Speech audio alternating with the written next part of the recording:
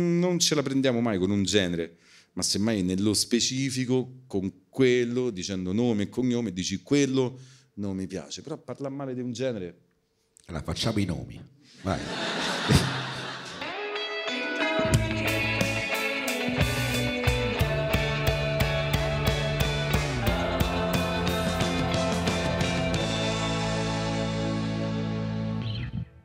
Buonasera a tutte e buonasera a tutti, benvenuti alla puntata numero 184 di Tintoria. Applauso.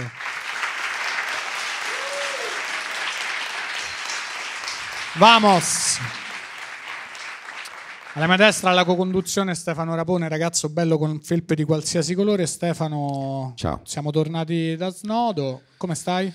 Eh, sono abbastanza distrutto. Ah, Sì, distrutto, addirittura. dalla Perché? stanchezza. Eh, perché sto sempre a fare su e giù tra qui e Milano Eh certo, con gli amici Giolappas, eccetera. che salutiamo. Che salutiamo. E quindi sono un po' sta- stanco. Sei Eh, stanco. so- cioè, secondo me devo smettere fatti in teoria. Vuoi smettere di fatto in teoria? Sì, sì, basta. Ma che Ho cazzo deciso. dici? Ma dove vai? Me ne vado. Ma dove vai? Sì, sì. Ma, Vado via. eh, Ma poi la sì. dici sempre questa cosa, ma oramai ti Eh, sei lo so, costruito però- questa prigione dorata, ma tu sei costretto, a cioè tu sei nato per questo, per fare i podcast, per fare il comico, Eh, dove vai? lo so, lo so, però voglio fare altro nella vita. Ma che Cioè, devi fare, Ste? Te sei nato per... Te c'hai una vocazione per la comicità. No, no, io ho un sogno. C'hai un sogno? C'hai un sogno che non è fare tintoria, Sì, avere il una cosa più mandrione. tranquilla, voglio fare un'altra cosa. Che vuoi fare? Voglio lavorare in oratorio.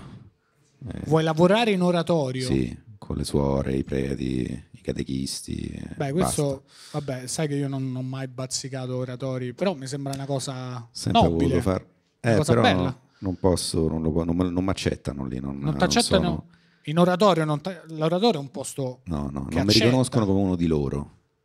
in oratorio, o- Sì, non credo, guarda, contro i miei interessi.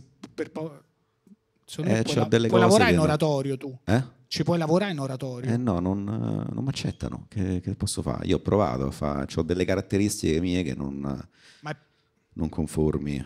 ma è perché bestemmi sempre? Sì, pure quello, Eh, però non è infatti. quello. Cioè, ho avuto dei problemi l'ultima volta, sai, ti ricordi, stavo a mettere un crocifisso, Eh. bestemmiavo davanti al Cristo, stavo lì. È brutto. Eh, c'avevo un po' dei pensieri, vabbè, era Pasqua, lo sai com'è. Eh, certo. Pasqua e tosta, i parenti, le uova. Sì, sì, Tremenda. Stavo in diocesi davanti a tutti, monsignori, però... Brut- eh, quello- vabbè, quindi per quello non ti hanno preso. No, poi là ti perdonano comunque. Poi manca avessi, comunque, manca avessi bestemmiato Dio, ho bestemmiato altri personaggi Eh. minori, diciamo, santi, eh, madonne, però non Dio, quindi quello Non te Dio, vabbè, è chiaro, non illegale. Vabbè, quindi Sì. ti hanno perdonato il cattolicesimo. E quindi scusa, qual è il problema? Eh no, c'è altre cose che non, non so se posso dirle Ma che allora, dimmelo subito che chiudiamo. Sono scandali sessuali? Ah, sì, ma non quelli che pensi tu, perché Ah, c'ho avuto una, una storia con una suora. eh, Ah, Sono innamorato, però non c'è stato, cioè, non c'è stato contatto fisico. Ecco, ah non l'hai purgata? No, no, non l'ho purgata. eh, per- Ma per- Non per, cioè, a me sai, mi piacciono le anziane, però eh certo, lo so, lo sanno Quando- tutti. quando l'ho vista nuda non, non ce l'ho fatta, ma più che altro perché aveva perso il fascino della divisa. Quindi Ah, eh no, certo, era- questo, questo ci sta. E quindi perdonato. Vabbè, ma scusa, allora quale cazzo è il problema? Me lo dici? è gravissimo. È che, è che non so suonare la chitarra. Non so Eh, suonare la chitarra.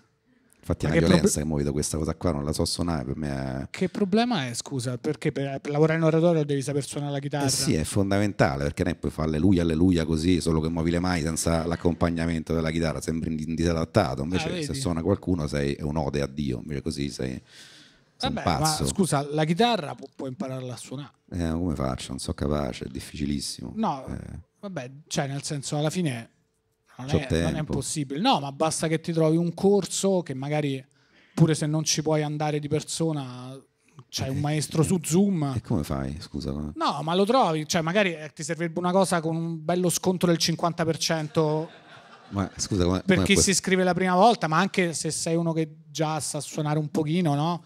E ti dà Eh, ma- pure lezioni di quel tipo. Ma dove lo trovi, scusa, sto, sto corso? Scusa, Ste, ma basta che vai su chitarrafacile.com slash tintoria Ah, e, e trovi tutti questi sconti incredibili fino al 31 dicembre Ma davvero? 2023. Ma certo, Ah, e do- ma è lo sponsor e do- della puntata di oggi, Ah, chitarrafacile.com no, no, slash tintoria. Non hai-. Ma dove si trova, scusa? Nel link in descrizione la puntata di Ah. oggi. Ma come hai fatto? Non hai, Eh, non hai no, studiato non niente, ah, non ti sei preparato per niente. No, no, no, c'hai il maestro che insegna a suonare la chitarra, sia che sei a livello zero, sia che sei uno che ha già imparato, sconti incredibili fino al 50% di sconto fino, entro il 31 dicembre del 2023 Ah. se vai su chitarrafacile.com slash Ma tu, tu tintoria. come fai a essere così esperto di questa... E io sono grande appassionato di chitarre, di chitarristi. Ah sì? Sì, sì, certo. Che, scusa, che... Cioè, che ne so, tipo mi piace Cesario degli Ali e le storie Ah, sì, tese, bravo. mi piace un sacco. Guarda, chi sono gli altri chitarristi che ti piacciono, scusa? E guarda, me ne piacciono un sacco, tipo Andy Martongelli che suona con il bassista dei Megadeth, comunque Ah. in ambito metal lo conoscono tutti. Ah, vedi? Oppure Andrea Braido. Ah, e chi... Andrea Braido, Ah. ex Vasco Rossi. Sì, e Sì. poi chi altro conosci? Chi, è che chi sono i tuoi preferiti? Guarda, li conosco tutti e li elenco ora. Riccardo Bertuzzi, che lavora molto in tv, Ah. eh, Davide Tagliapietra, che è chitarrista e produttore di Tiziano Ferro, Gianna Nannini e la numero uno Cristina D'Avena. Ah, Eh, certo. No, tra l'altro parlano tutti bene di Ah, chitarrafacile.com slash tintoria. però so, visto che sei così esperto, io non ne capisco niente. Chi è il chitarrista più bravo della storia d'Italia, secondo te? Vabbè, se me lo chiedi così, no, non perché è stasera, eh, non per piaggeria, però il numero uno è Thomas De Maneskin. Vabbè. Ci sta. È il mas grande. È bravo. Eh, cioè è più grande. Vabbè. E- eppure, Eppure, questo, eppure stasera. ci siamo presi questi. Senti, non è, certo, non è certo grazie alla tua capacità di suonare la chitarra No. se siamo arrivati alla puntata numero 184. No, neanche- certo grazie alla mia conoscenza dei chitarristi internazionali, Certo. perché conosco solo quelli nostrani. E- Che siamo arrivati a questa puntata deve essere grazie agli ospiti straordinari che abbiamo la fortuna di invitare ogni volta. Quindi, senza ulteriori indugi, andrei a presentare l'ospite della puntata numero 184 di Tintoria. Signore e signori, solo per voi, Alex Britti.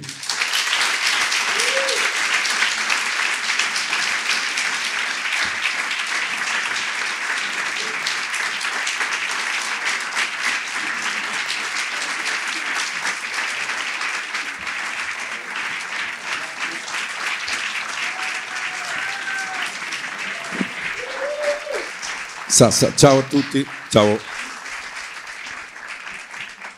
Buonasera, benvenuto, benvenuto a Tintoria, grazie mille di essere, di essere venuto ospite di questa puntata. Stefano si era preparato una bella domanda strong. Come Ah, stai? subito. Sì, co- come stai? Come sto? Mazza, parti in quarta proprio, subito. Certo. Sto bene, Ah, sto bene, sì.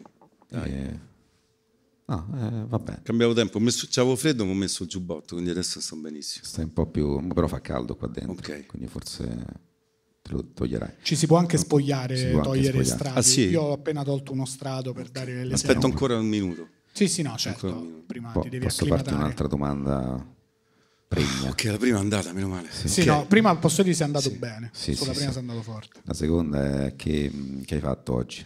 Pure Oggi- questa non facile. Oggi ho suonato. Sono suonato? tutto il giorno in studio. Ah, Sì, poi ho mangiato e ho bevuto un paio di caffè. Una paio di- giornata abbastanza intensa, devo dire.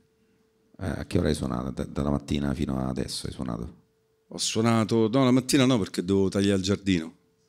Ah, eh, cioè, hai quindi- il giardino so- sì, ho tagliato il giardino. con eh, la macchina elettrica o con le, le cesoie? No, ero partito con le forbici e il pettinino, poi cioè, perdevo troppo tempo, ho preferito dici- prendere l'affettatrice lì. Ok. Ehm, com'è il tuo giardino? Il mio, il mio giardino è, è- è- è bellissimo, anche se ho il vicino che eh, ce- è più figo, ce l'ha- Vabbè, come però di- anche il mio, insomma. dice il detto, no? Sì. certo. Ehm, perché, perché è più figo? C'è lui che c'ha in più? Cosa? Che cosa ha in più lui che, che tu non hai nel, nel suo È, giardino? è più verde, è proprio, più, è proprio verde. No, sembra che ho detto, invece è vero, cioè il giardino no, secondo me lo dipinge perché... E non non, è è possibile. non siete in buoni rapporti, non lo vuoi chiedere? No, no, siamo in buoni rapporti, però no, È come lo chef che non ti dice il segreto Ah. eh, lui è uguale. Quindi Non me lo dice. Ho chiesto pure al giardiniere mio, mi ha detto no, non si mi sa. rendo, Ah, non lo sa. Mo- comunque, mo se lo risolvo a giorni, poi magari ti chiamo, in caso torno pure ospite, così Eh, io sono curioso ormai Posso portare qualche foto? Eh Ma certo, dici, oh, il- c'è presente il giardino dell'amico mio? Gli ho Beh, sono cose, eh. cioè, il giardino verde, so. No, no, ammazza. ma Te tu quindi sei una persona dal pollice verde. Io ho il pollice nero più che altro, poi mi aiuta uno che ha il pollice verde. Ah. Eh. Eh, ma come fa? Scusa, capire. Cioè, il No, giardino infatti, che- Intanto volevo chiedere se ci alzate poco poco in spia. Questo Eh, poi perché teniamo non si tutto. sente, ho fatico a Ma sentire. ti dico, ho fatto Ah. io il soundcheck prima, ho detto abbassa, abbassa e adesso sto qua a rosicare, quindi Ah, eh, chiedo scusa. Forse hanno abbassato perché probabilmente non è che freghi tanto un cazzo del giardino, allora hanno Hanno detto vabbè, abbassiamo Ma poi no, quando... Aspettiamo No, che facciamo domande più chicche. No, no, no. No, no, è colpa mia, mi assumo tutta Credo, eh, sono arrivato so. prima, ho detto no, abbassa, abbassa, si Abbassa, sente. vero? E Si sente. invece hanno abbassato. Ma Ma infatti pure così. Pure così, esatto. La facciamo così. Scusa se torno sul giardino. Vai, Ste- Stefano ha le sue cose. Scusa. Ma c'hai, c'hai tipo il tavolo dove mangi? C'hai... No, ancora no. No. Perché, Ah, perché è nuovo? mi sono trasferito da 4-5 mesi, però Ah. c'è stato il tour di mezzo, quindi ancora non c'ho, non c'ho il tavolo. Ok, quindi è casa nuova, ok. Non posso fare le cene. E- Posso- però, però posso fare i picnic. Eh beh, certo. Col prato. Col prato ci sta. Bellissimo se inviti qualcuno a casa per un picnic. Per un picnic, Non è male. Invece di dire, sai, la cena a tavola, eh, fai solo cose da picnic, paninetti. Fai almeno una cosa diversa. L'ho fatto l'altro giorno che pioveva, poi è stata un'esperienza incredibile. Eh, cioè, detto, "Oh, venire a me per un picnic giorno di pioggia. Sì, perché a farlo canonico sono buoni tutti, no? invece farlo quando piove sotto l'acqua è più divertente. Bello, no? sono soddisfatto di questa, di questo conversa- incipit. di questa conversazione. Stefano gli piace sapere dei picnic. Eh, invece io comincerei la puntata, diciamo, standard con una domanda. A noi ci piace sempre partire dalle origini con tutti gli ospiti perché abbiamo ospiti che avendo fatto percorsi creativi e artistici hanno percorsi unici e abbiamo studiato, abbiamo visto che te quando vabbè, cominci a suonare la chitarra da piccolo, a un certo punto a 17 anni dici fondo una band, entro in una band e cominci subito con una band blues. Oh, la mia domanda è, ma sto blues perché? Cioè, con tutto il rispetto, però a 17 anni uno fa, mo faccio la mia band rock, punk rock, facciamo una cosa pop e tu subito, no no, blues. Perché? Perché credo ci sia una predisposizione anche nel gusto.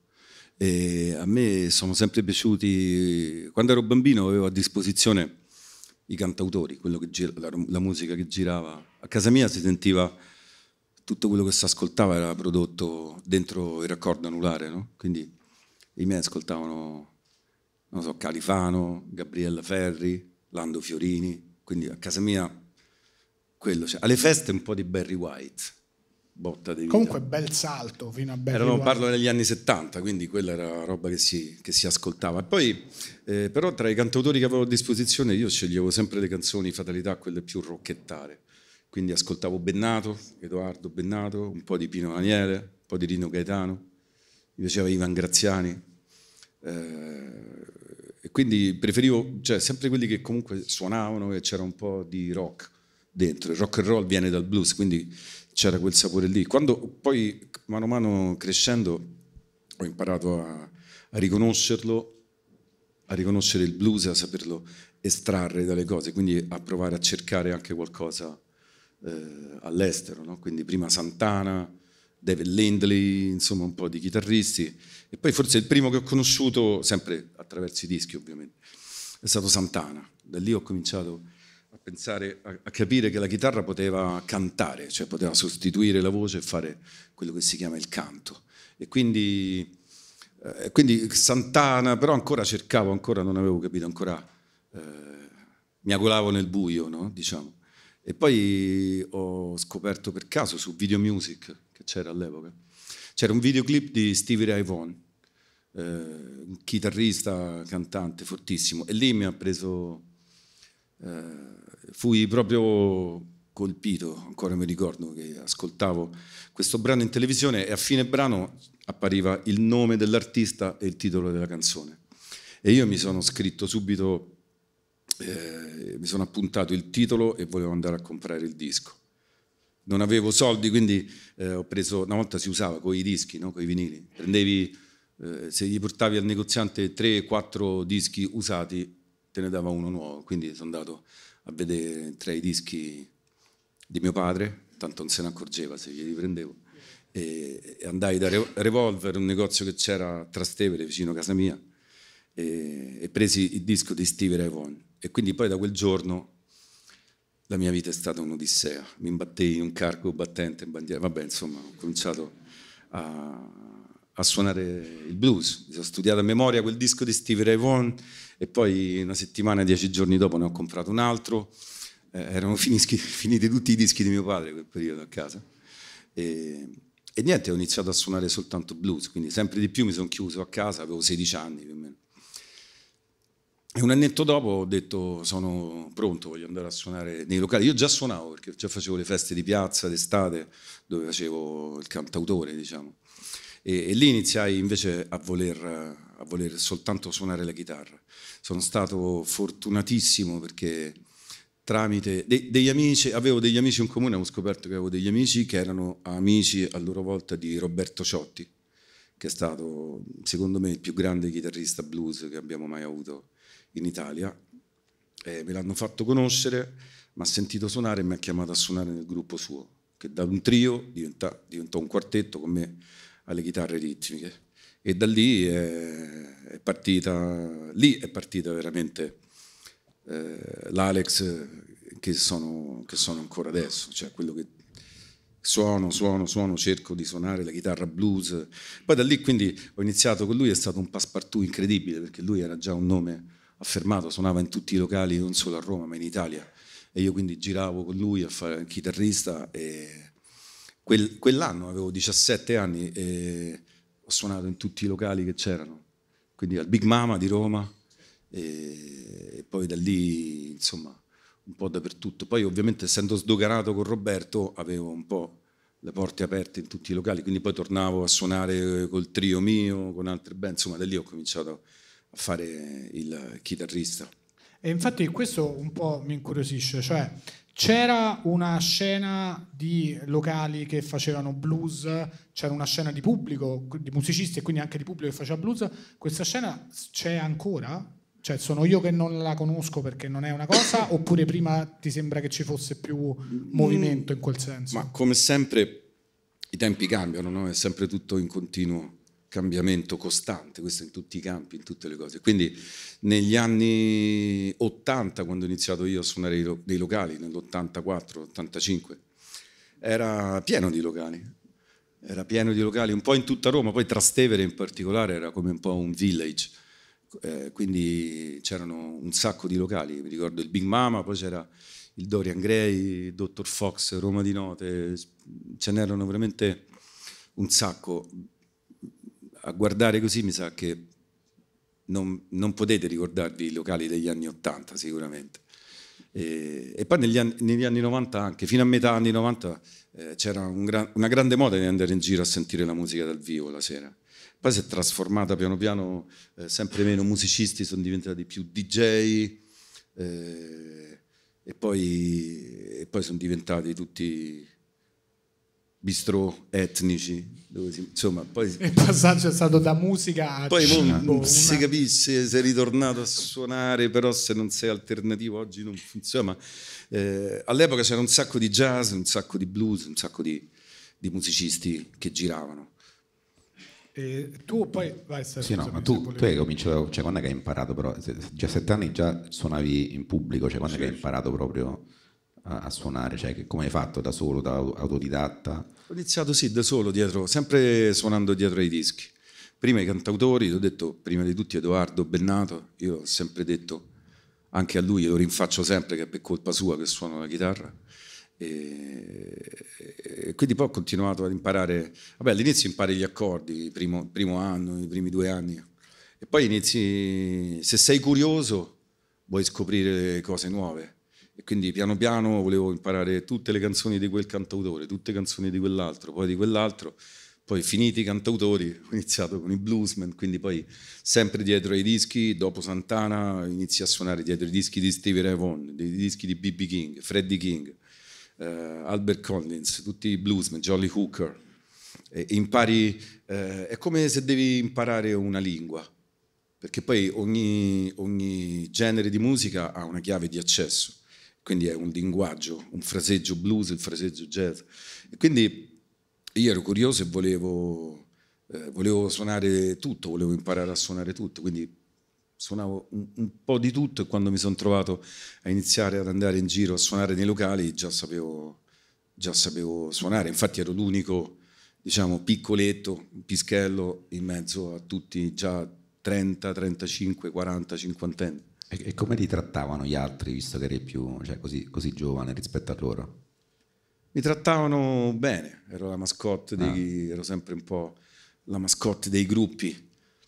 Poi non si percepiva sul palco la, la, l'età, perché comunque suonavo.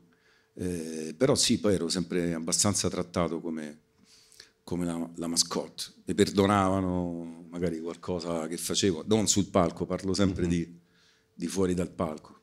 Beh, cioè, che, posso chiedere che cose, cioè, cose di che tipo? Cose che ne so, che magari finisce il concerto, devi impacchettare le cose, invece sparisci.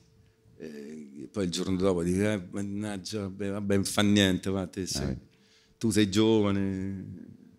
Le cazzate se non le fai adesso, quando le fai. Esatto, sempre con queste cose qui, quindi quindi giù a far cazzate, tanto ero giustificato. Però sì, almeno le fai tutte in due o tre anni e te levi il e pensiero, insomma, e a 25 anni già sei bello bilanciato, calibrato, ponderato. Questo è un bel messaggio anche, fate tutte le cazzate il prima possibile. Diamolo. Eh, beh, invece il tuo primo disco che fai nel 92, quindi ancora giovane, sì. però non, non, ha, cioè tu poi il, chiamiamolo il successo, lo fai nel 98, cioè il sì, botto, chiamiamolo sì. il botto. Invece all'inizio, quindi sei anni prima, fai il primo disco. Fa, allora dici ok, io suono sin da quando in pubblico, in giro per l'Italia, sin da quando ho 17 anni, faccio il primo disco, il primo disco come te lo vivi? No, cioè come ti, vivi, come ti sei vissuto il primo disco? Perché magari uno sogna Ma... di diventare Eric Clapton eh, Eric Clapton ci diventa Eric Clapton, sei giovane, come ti vivi la cosa? Faccio il primo disco e questo è... Ma il primo disco è stato, cioè quel primo disco che io non lo considero neanche il primo disco, è stato abbastanza casuale, cioè la suonavo, suonavo random, scrivevo in modo random e poi ho trovato delle persone che volevano fare un disco, abbiamo fatto, abbiamo prodotto, siamo stati in studio casa discografica abbiamo organizzato tutto e, e, poi in realtà però il disco non è uscito nel 91, 92. Non mi ricordo neanche perché poi io avevo già passato tutto il 90 in Olanda, vivevo, cioè suonavo con una band di, eh, di Amsterdam, cioè che facevano base ad Amsterdam, poi eravamo tutti di nazionalità diverse. E mi ero già vissuto un anno, insomma, in giro in tutta Europa a suonare. Poi mi sono fermato nel 91 per registrare questo disco.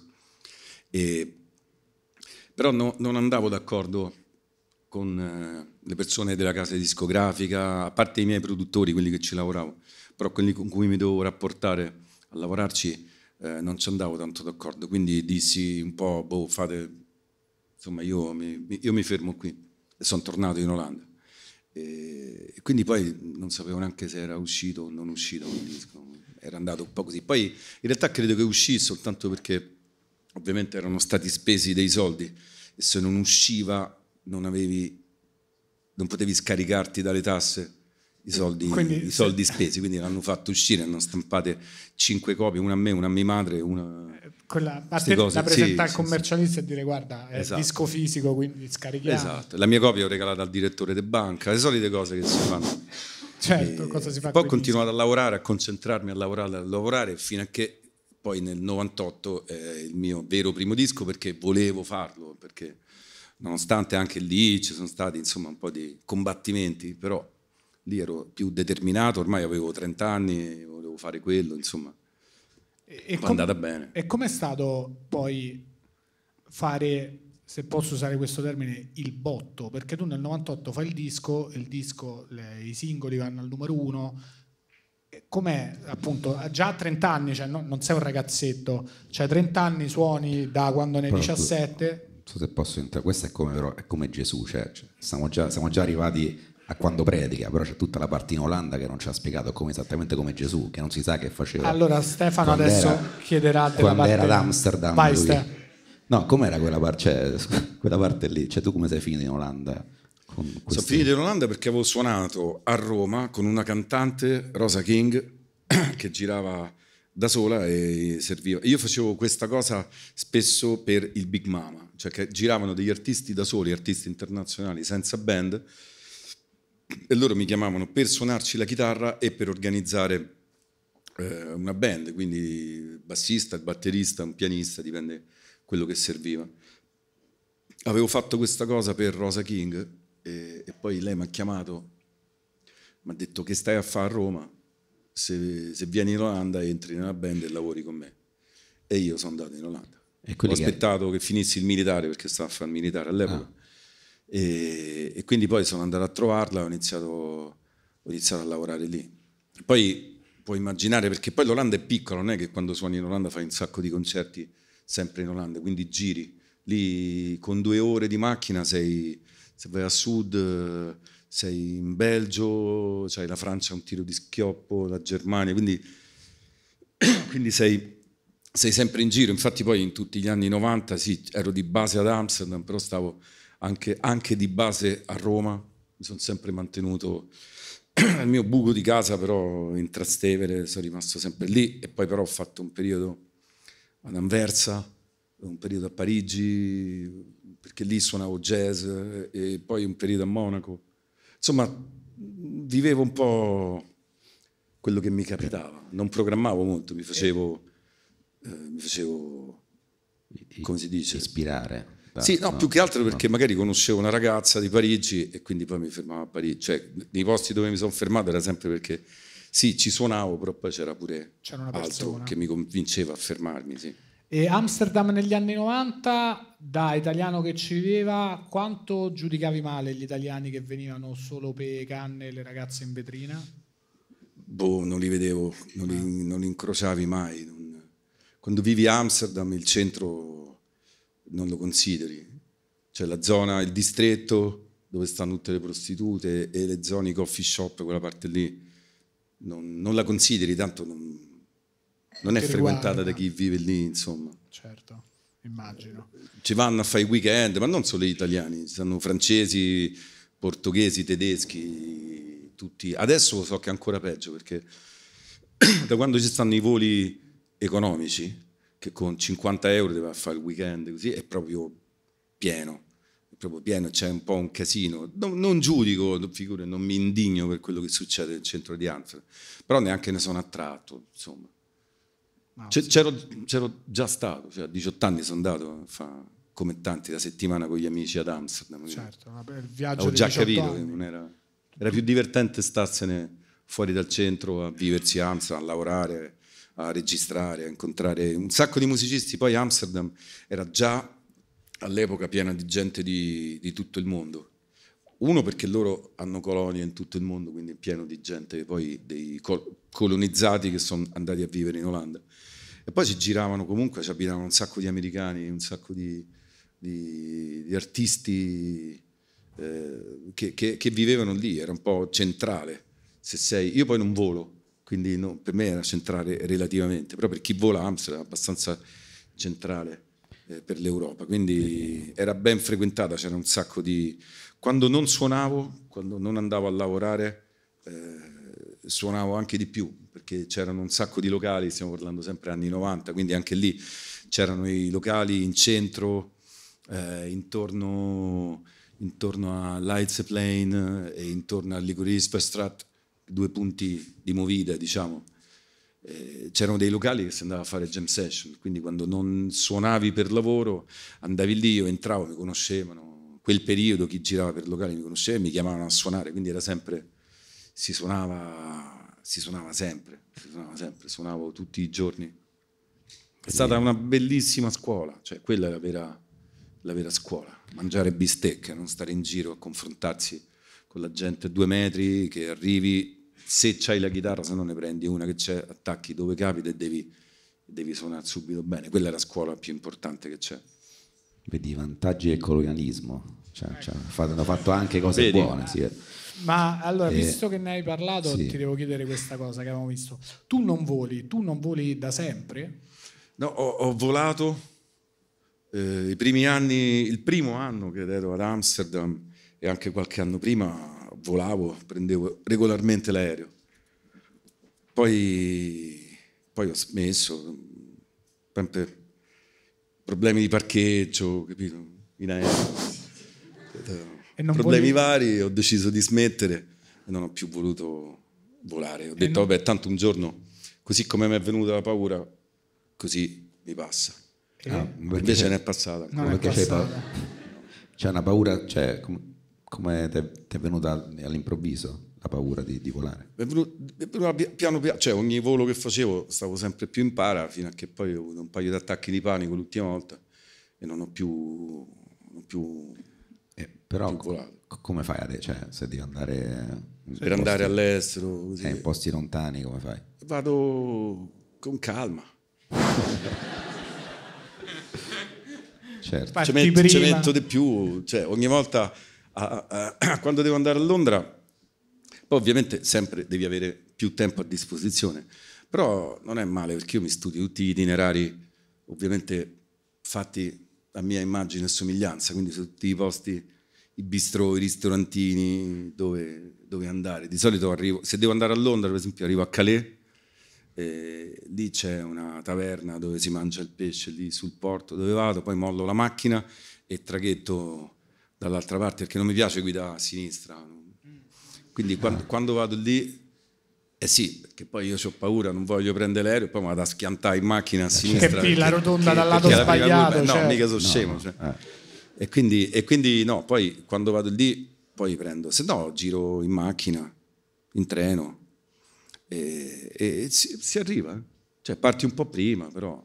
Però tipo se devi andare in America, come Eh, fai? Stati Uniti off limits. L'America aspetto, non lo so, il ponte sullo stretto.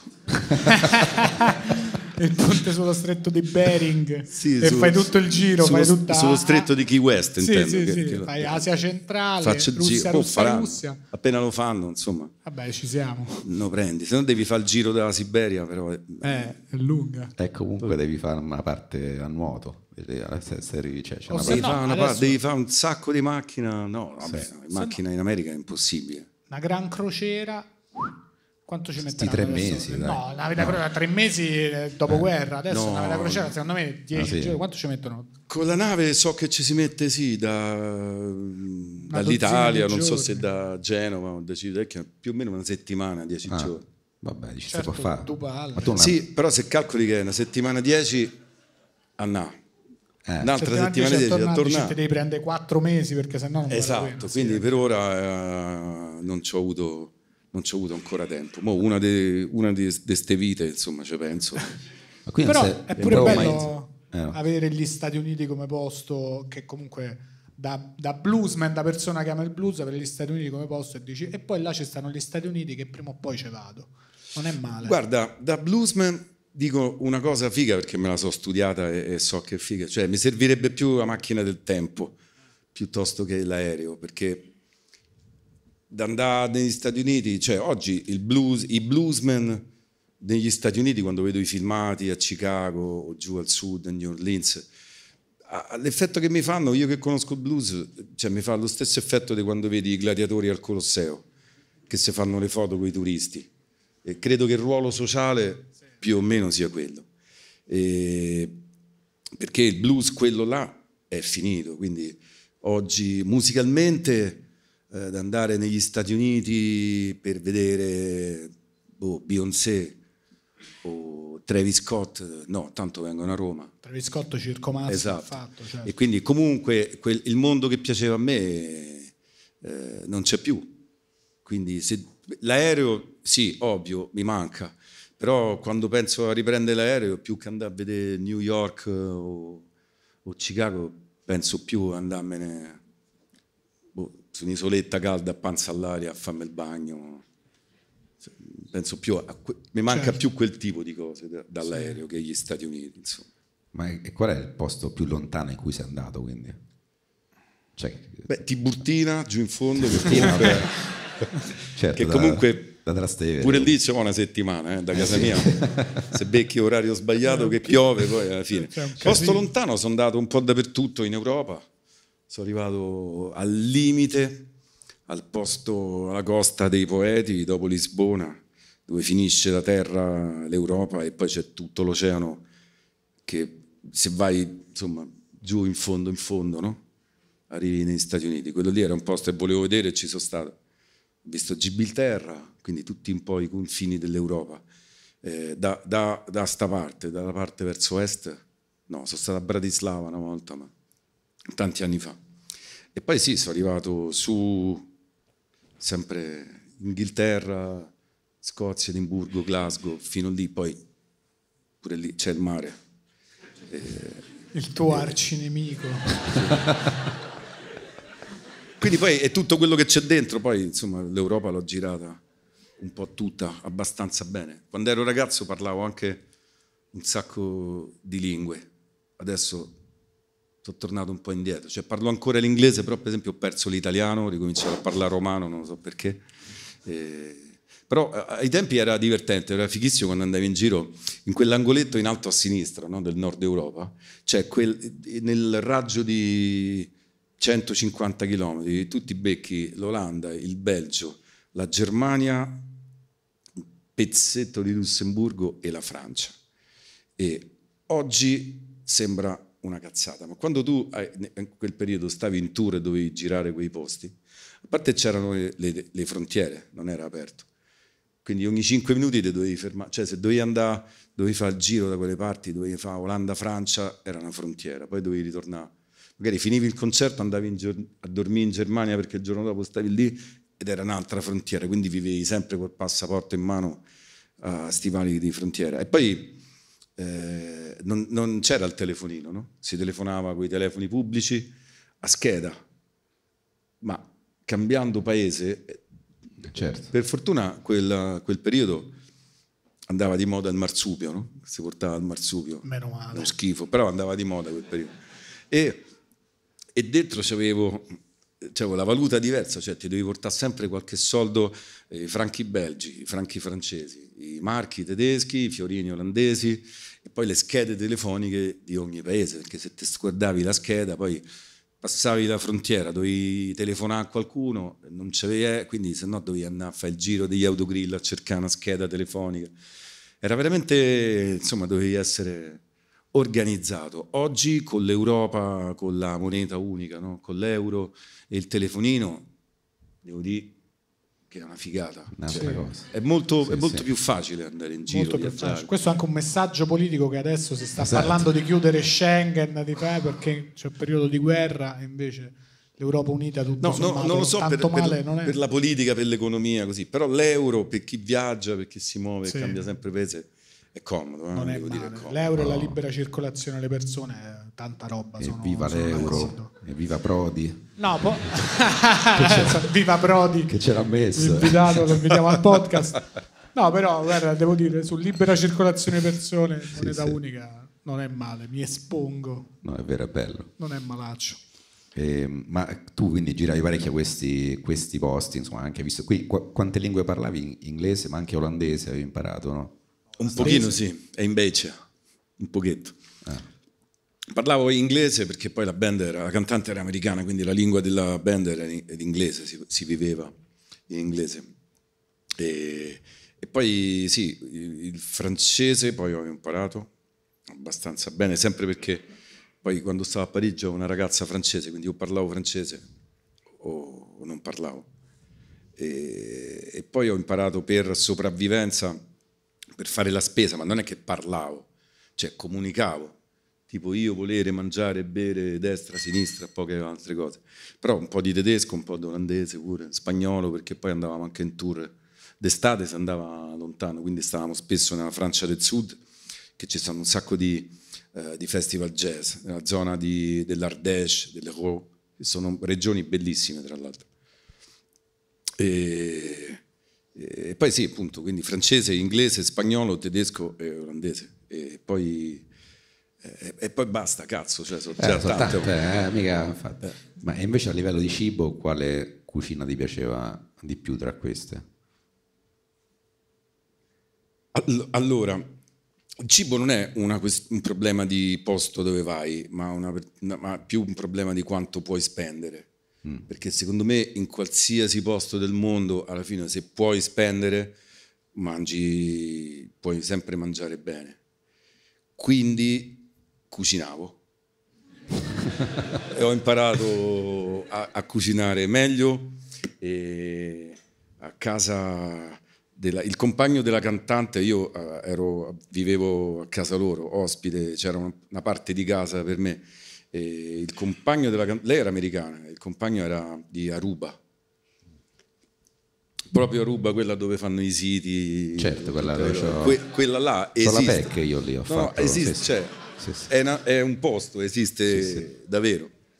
E, e lui era di là dei Caraibi, quindi usava, lui cucinava eh, bene, era, era casalingo tra l'altro, lei lavorava e lui stava a casa. E, e usava un sacco di spezie, un sacco di, di cose che io non conoscevo. Quindi io cucinavo, però sempre cu- cucina più o meno, sempre appunto dentro al raccordo anulare. Quindi io magari gli ho insegnato a fare la matriciana, la carbonara, gli involtini, le cose anche più elaborate. E lui mi insegnava a fare le cose, il pesce, le cose agrodolci, usare le spezie. E quindi da lì ho cominciato a cucinare. Poi dovunque andavi, eh, comunque si, si, cucina- si cucinava bene. In Francia si mangia bene. Eh, se non sei allergico al latte mangi da Dio quasi dappertutto. No, lo dico perché adesso sono allergico, quindi non potrei più mangiare niente. In Belgio hanno poche ricette, ma quelle che hanno sono molto valide. Eh, in, Olanda, in Olanda cucinavo e, e in Germania, in Germania, in Germania pure mi facevo ospitare e cucinavo. Però in Germania, per esempio, ci stanno un sacco di ristoranti italiani buoni. Mentre se vai al ristorante italiano di, di media, poi ci stanno quelli buoni, sempre se spendi. Però in Olanda, in Francia, se, se trovi il ristorante italiano disastro. Invece in Germania stanno i ristoranti italiani che sono buoni, se vuoi mangi italiano. Poi non so uno che mangia italiano, a me piacciono tutte le cucine. Quando sei in Olanda, se cerchi la cucina olandese, cerca, cerchi, cerca, tanto non c'è, quindi... Ma però, infatti- però ci stanno appunto sempre, eh, com'è, viva il colonialismo, grazie al Ecco, colonialismo. Certo. infatti, Però c'è la cucina di- indonesiana che è Ah, fantastica, tutto un po' dolce, però buona, interessante, e più sana di tante altre cucine. E, e anche i, la- il Suriname, c'è- una colonia in Suriname, un paesino del nord del Sud America. E, e loro fanno dei piatti molto simili alla cucina venezuelana, però sono più eh, neri, quindi c'è un po' di misto africano. Insomma, è, è divertente, insomma, sempre tanto Perché- una fetta di carne te mangi. Eh, perché sennò invece la cucina olandese che so, patatine fritte forse che fanno? Dove? In Olanda? In Olanda, sì, o in Non forse lo in so. Belgio. Lo sai che ancora non ho capito che se mai. Infatti, chi- chissà perché, tipo in Olanda, ma pure in Inghilterra, che comunque sono paesi che hanno colonizzato tutto il mondo, posti anche dove si mangia bene, e loro non hanno mai preso niente. Ma forse l'hanno fatto proprio per quello, per cercare magari. qualcuno sapeva cucinare. ristorante buono, sì. Eh, può, può essere. Dice, non è un mortorio, andiamo a venire in Africa se c'è un posto che c'è. Sì, sì, forse è per quello il motivo. Eh, Infatti tutto il mondo sono andati a cercare. Ma questa cosa del cibo quindi ce l'hai sempre avuta perché allora diciamo una Sì, cosa, te a Masterchef, a Celebrity Masterchef hai fatto un figurone e questo va detto perché vale più di tante cose.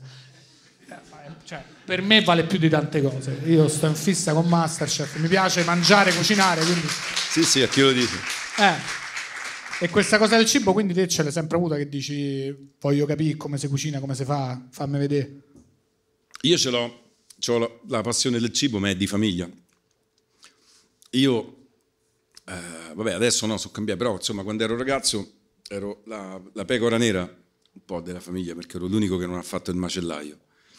E quindi mio papà macellaio, tutti e due i miei nonni macellaio, un cugino macellaio, un altro l'unico branca della famiglia che non faceva il macellaio avevano una pizzicheria, cioè una salumeria. Quindi a casa mia si parla sempre di, di, cibo, di carne, di cibo, di come si fa questo, come si fa quell'altro. Mio papà era molto goloso, buon gustaio, mangiava tanto e cucinava bene. Mia mamma cucinava e cucina bene.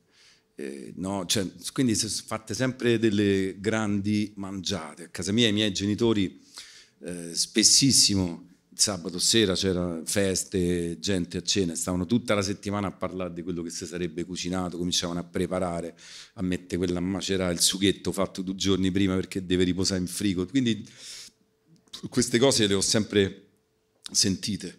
Poi io sono andato a vivere da solo appena finito il militare, a 20 anni, e, e quindi sempre per la stessa cosa, cioè che se puoi spendere puoi andare a mangiare molto bene oppure impari a cucinare e quindi ho imparato a cucinare. Così ero, quando ero pischello ero il re delle scatolette, cioè mi mettevi una scatoletta di sgombro, una, una riserva di pomodoro, un concentrato, io ti preparavo una pasta. Eh, e poi piano piano dalle scatolette sono passate ai barattoli in vetro, poi dal barattolo in vetro al surgelato, al congelato e poi al pesce fresco. E, e adesso che posso permettermi, sono più grande, insomma, mangio quasi solo panini perché non ho tempo, però sì, poi dopo aver avuto il bambino ancora peggio, cucino a lui le cose più sane pure, io sto là a mangiare la pizza che avanzata del giorno prima, però va bene, dai, ci sta, ci sta. Poi vai a correre, smantisci tutto. E posso farti una domanda su Masterchef che mi interessa molto?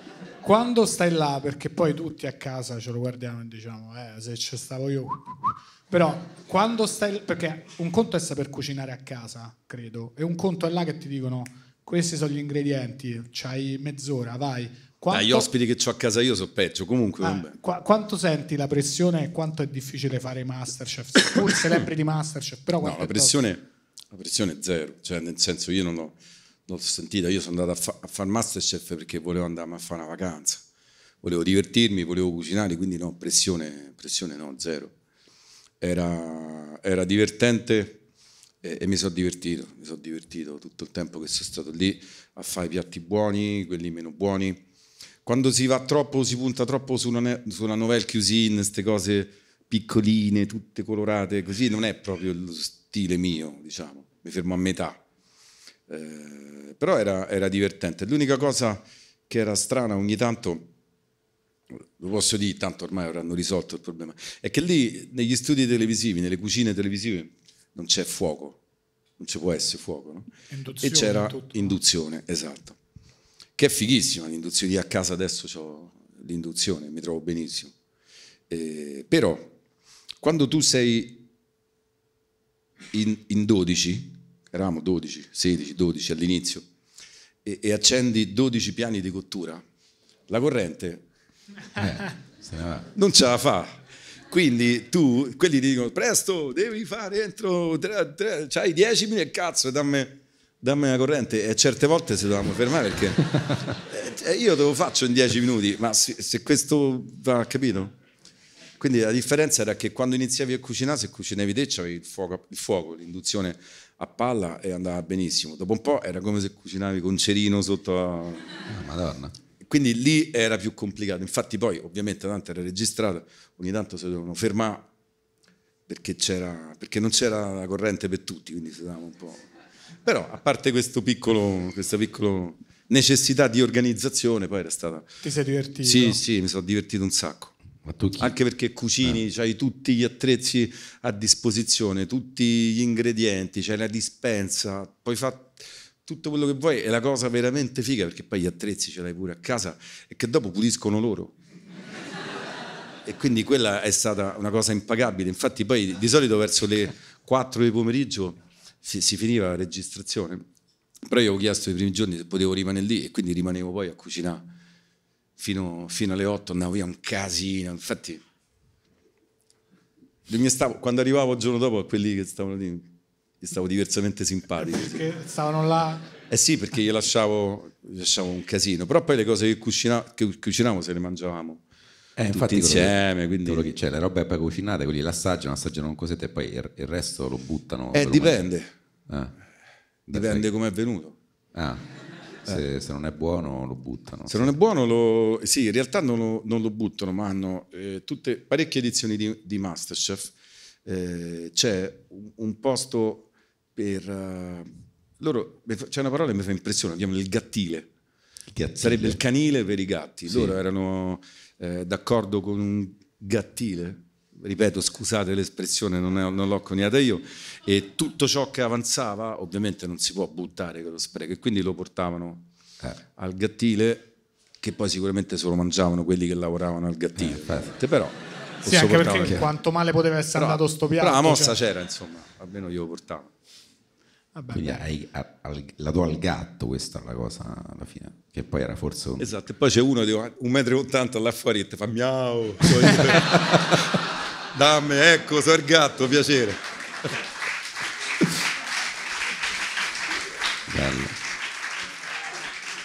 Ma tu, c'era qualcuno che, con cui che temevi, con cui eri più in competizione, che avevi paura di quell'altro, cioè il concorrente che temevi di più qual era? No, temevo, temevo no. Competizione no, perché poi de- quando cucini è come quando suoni, non c'è, io non so il più bravo chitarrista, io sono il più bravo a fare Alex Britti, io sono il più bravo a suonare come Alex Britti. E, e nella cucina eh, ovviamente è la stessa cosa, non sto a livello ovviamente, lì so, um, a tutto a livello amatoriale, però i- con quelli più bravi eh, sono quelli che invece ci ho legato di più, perché eravamo, anzi, eravamo noi i più bravi, gli altri, pff, fa tempanino, non E rompe. chi, chi erano i più bravi? Ma era- c'era Roberta Capua che poi ha vinto quell'edizione e c'era Maria Grazia Cucinotta pure che cucina molto bene. Poi anche qualcun altro, però con loro due... No, cioè, giustamente dico. sì. Eh sì, abbiamo legato di più, se non altro perché siamo coetanei e, e ci fermavamo spesso appunto con loro proprio a scambiarci. Hai fatto quella cosa, come la fai? Ok, aspetta. E noi tre ci fermavamo spesso anche dopo la registrazione a imbrattare tutto, a continuare a cucinare, a sporcare, sempre perché tanto poi Tanto pulivano. poi c'è Sì, sì. No, il giorno dopo tornavi era, era stato solo un brutto sogno, era tutto perfetto, Bellissimo. pulito, figata. Bellissimo. E chissà se Beh. pure per quelli che non fanno Celebrity Masterchef, ma Masterchef normale è così. Credo di no, mi sa che là c'è molta più tensione, cioè diciamo... Dipende, sai, eh, quelli che fanno Masterchef spesso vanno lì perché hanno un modo per prendersi una visibilità, no? E spesso cercano, cioè fanno Masterchef, Masterchef è una via d'accesso magari a un ristorante, a una cucina importante, magari uno stellato. Mentre, mentre noi, chi più, chi meno, un lavoro già ce l'abbiamo, no? Quindi vai lì a cuor leggero, vai lì per divertirti, a, a cercare di, di far bella figura soltanto perché c'è la passione per la cucina e ci piace far bella figura, quindi ci vai con un altro spirito completamente. E questa cosa, questa passione per il cibo, per la cucina, quanto, non dico condiziona i tour che fai, però un po' sì, cioè quanto dici, ah mo c'ho la data là, fammi andare il giorno prima perché voglio mangiarmi sta cosa. Sempre, Ah, fisso, ecco. sempre, tutti i concerti che faccio. E- Ma proprio sempre, ma non lo sto di così perché voglio far ridere, cioè quasi tutti i concerti c'è sempre o il giorno prima o il giorno dopo. Io il giorno del concerto non, Non mangio mangi, quasi, sono distratto, ho da fare. Dopo il concerto difficilmente mangio perché sennò è tardi. poi dormi col cinghiale sullo stomaco, ti svegli a bere l'acqua frizzante di notte mm, e non va bene. E però di solito c'è un giorno concerto, il giorno dopo un altro concerto e poi il giorno eh, che dall'ufficio mi dicono ah poi c'è un giorno libero, magari devi fare 800 km in macchina e, e in quegli 800 km ho modo di fermarmi qua o là in giro in Italia. Io ho una mappa di ristoranti che chi- quello che fa la guida Michelin davvero mi spiccia a casa, cioè, nel senso li conosco più io, ristoranti, alberghi, perché poi non vado solo per stellati, ma vado per ristoranti, eh, trattorie, pure per quello che fa il panino, basta che è buono, basta che la materia prima buona, i prodotti buoni, quindi poi mi, mi fermo, infatti sono... Facci una lista. Cioè, so- Eh, tu ci scherzi, ma Eh. eh, a parte la lista si può fare, però cambiano. Cambiano sempre le cose perché quello va in pensione, eh, il ristorante lo prende il figlio e dopo tre anni è tutto cambiato. Quindi cambia. Però c'è questa lista che non scrivo, però tu, no, tu scherzi, ma a me mi chiamano tutti gli amici. Oh, Ale, sto a Catania, dove posso andare a cena? Capito? Quell'altro mi dice, Ale, sto a Trento o sto a Perugia, o capito? Nei posti e, e gli dico sempre dove andare a cena e 8 su 10 gli so dare una risposta esaustiva. Insomma.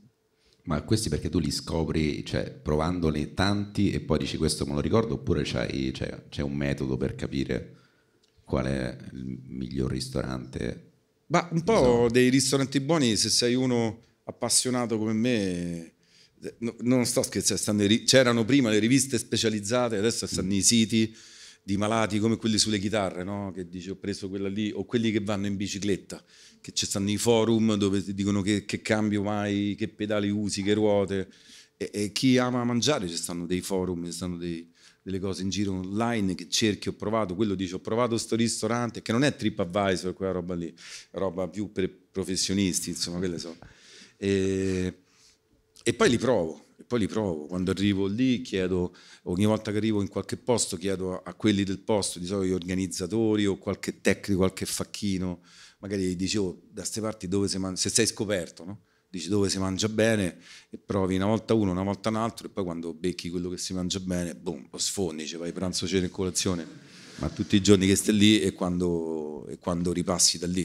Poi e... c'è stato, c'è un, purtroppo c'è stata una, una c'è stato come quando fai la linea al totale, c'è stata una divisione, un muro di Berlino importantissimo che è stato il Covid, ah. perché c'è il pre-Covid e il dopo-Covid. Dopo Covid è cambiato tutto, eh, quindi, quindi, devo ricominciare da, cioè ho già ricominciato da capo. Tanti ristoranti hanno mantenuto comunque uno standard buono, però è cambiato tanti, tan- è cambiato tanto, tanti sono chiusi, tanti hanno chiuso tanti sono rimasti aperti non mantenendo la stessa qualità e, e, tanti invece sono sbucati dal nulla raggiungendo in poco tempo una buona qualità.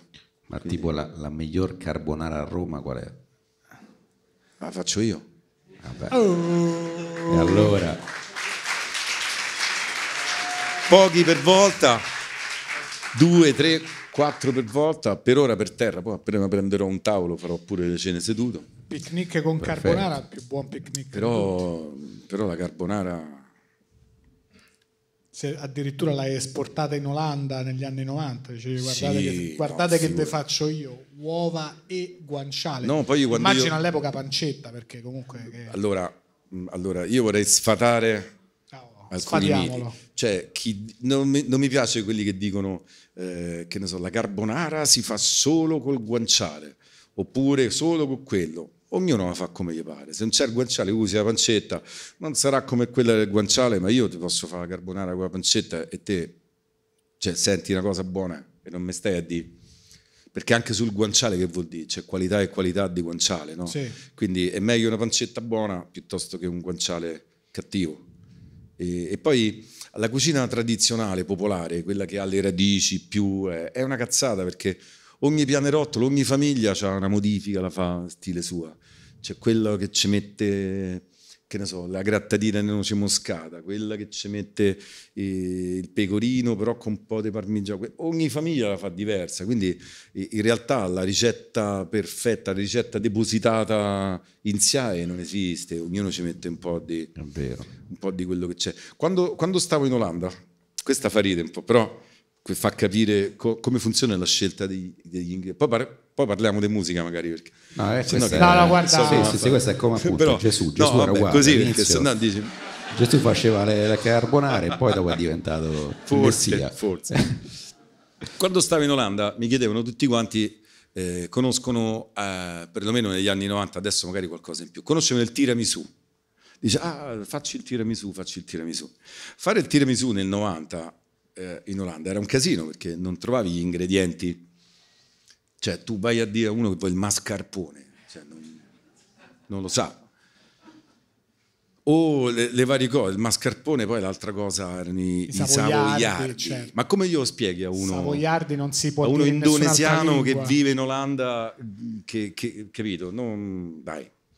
Quindi avevo trovato una sola... Ah, poi aspetta, quando la trovavi, la trovavi dal posto, dall'alimentare italiano, che stava... In, in Amsterdam stanno dalle parti di... c'è eh, Beethovenstraat, che è la zona un po' più pariola, no? E che quindi trovi le cose più buone, più care, ma andare a comprare cioè, due etti di mascarpone dovevo vendere la chitarra, Eh, quindi non si poteva fare. E, l'altra cosa i savoiardi, ma te come fai a stare in Olanda, vai a spiegare a uno che so i savoiardi, cioè vabbè. Quindi ti adatti, allora che cosa facevo? Io facevo, che io chiamavo il take me up, e, eh, però facevo, allora, invece del- dei savoiardi ci stanno dei biscotti che chiamano mm, qualcosa tipo i finger cookies, le dita, che infatti il savoiardo, se ci pensi, somiglia a un, a un Faccio l'indice perché se faccio l'altro dito poi pare brutto. E, e poi ditone, invece, de- sì, sembra, eh, invece del mascarpone c'è un formaggio che c'è un po' in tutto il nord Europa, anche in Germania, in Francia, che si chiama il quark che di solito fa ridere, ah, quark, te vedi Piero Angelo. No, è un formaggio. Ed è un formaggio morbido, spalmabile, che puoi usare sia salato che dolce, eventualmente. Un po' come il mascarpone. Il mascarpone si fa anche i piatti salati, no? E però, ovviamente, il quark costa, lì costa poco, non costa come il mascarpone. Così i, le i biscotti a dita. Eh, poi invece, della- invece del whisky o l'alkermes eh, ci mettevo il Genever, che è un liquore olandese che costa una cazzata. E quindi prendevo tutti gli ingredienti del posto e simulavo. Poi mischiavo, che ne so, il quark c'è una consistenza diversa, allora ci mettevo appena appena un po' di panna montata per renderlo più cremoso e alla fine abbozzavo una cosa che somigliava molto al tiramisù, però era fatto con ingredienti locali e mi costava, metti, che ne so, fa un tiramisù appena cena, costava 5 euro invece di 70 euro. Capito? E questa cosa, perché stava di sta cosa? Mi sono, scor- mi sono mi carbonara più No, buona che aspetta, le, i- com'era? gli Esatto, quindi, quindi cambi sempre gli ingredienti, cioè rispetto tu ti adatti sempre Ma com'era? Come stava? Era buono alla fine? il take me up. Eh, sì. Sì, sì, buonissimo. Sì, si poteva fare. eh. Si poteva fare, fare. capito, Io pure una volta ho fatto le lasagne con le sottilette. Eh, spettacolari, più buone che ho mai mangiato. eh. Basta che non lo dici. Eh, esatto. No, perché? Ma se ero non in- dici agli ospiti. Ero in Irlanda, stavo lì, c'è stava la mozzarella, Eh, la figurati. besciamella. In ero- Irlanda gli avrei fatto un miracolo, dici? Ah, Sì, ho pure fatto una carbonara col chorizo, che comunque è buona. beh, comunque a, è buona. a tutto cioè, c'è un limite. Quindi- Però in Irlanda carbonara col chorizo gli cambi la vita.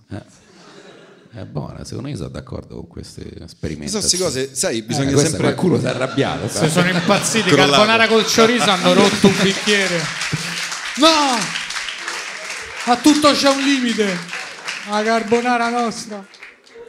Dai, bisogna sempre adattarsi, cioè quando si va all'estero non puoi andare all'estero e poi certo. ti lamenti che non trovi tutte le cose dell'Italia. È, è normale se andare all'estero. È vero. Quindi con un buon spirito di adattamento poi cucini tutto quello che trovi. Carbonara, cioè immagina sta Amsterdam, Amsterdam nel 90, perché oggi è diverso. Poi ci, ci stanno i supermercati, quelli belli che si chiamano Albert Heijn. E, e oggi se vai in qualsiasi Albert Heijn in giro per tutta l'Olanda trovi De Cecco, Barilla, eh, i sughi, i salumi citterio, cioè oggi trovi tutto. Parmigiani, i pecorini, forse anche i pecorini, non ti dico i parmigiani, ma forse pure qualche pecorino. Ma oggi più o meno trovi tutto, costa un pochino di più ovviamente, però, però si trova tutto. Nel 90 era, era più complicato, per esempio, e poi c'era quella cosa del, plez- del prezzo, no? poi c'erano queste cose tipo la pasta Fattucci dal 1900 in Italia con la bandiera di- mai sentita in Italia, stanno queste cose. E, e quindi compravo invece per fare la pasta gli spaghetti compravo i Suzi One che è la marca cinese, quella che è la De Cecco cinese, che però costano un quinto della De Cecco quando stai all'estero. E so so, buoni. so buonissimi, sono esattamente come i nostri. Mo mi scrive amministratore delegato di De Cecco, mi fa però, però sono buoni, si, si mangiavano. Ma sì, ma sì. Me ne sono mangiati a tonnellate. E, e arriviamo Oh, adesso arriviamo. Alfa ti dico 98. Ok. Abbiamo cominciato la domanda 40 minuti fa, però è giusto così. È giusto così. Stefano, te ti sei pigliato un'altra birra? Madonna, ma stai on fire. Mo fra un po' ne chiedo una anche io. Eh, tirami su, mette sete. Eh sì, perché È a quello, furia di sì, parlare sì. di cibo, Stefano serve. E 1998 dicevamo fai erbotto, perché nel frattempo pure ho quasi finito la birra, Sì. quindi il è diventato er. Com'è? Cioè, 30 anni, non sei, non sei un ragazzino, non sei un ragazzetto, sei un giovane uomo e a un certo punto fai il botto, fai il botto in Italia, non sei in Olanda, non sei fuori, fai il botto. Com'è fare quella roba là? Cioè fai il disco, c'è il singolo numero uno in Italia, tutti si sentono le canzoni tue. Com'è? Eh, com'è? È una figata pazzesca. Però, però, al- allora, io ho sempre avuto una percezione mia personale, cioè io non ho fatto il botto. E, e ho sbagliato, eh. anzi questo è quello per cui ancora continuo a sbagliare il modo in cui ti poni, cioè eh, non ho fatto il botto io, ho fatto il botto le canzoni, le mie canzoni hanno fatto il botto, quindi ho sempre continuato a percepirla nello stesso modo, cioè io sono sempre lo stesso, non cambia niente, zero. Eh, sì, poi ovviamente più responsabilità, ma quelle con, con gli anni arrivano, arrivano comunque. Quindi hai una percezione bellissima, fantastica, che sei un musicista e so anni, tantissimi anni già che ti svegli sempre a pensare alla chitarra, intrippato a quello che devi scrivere.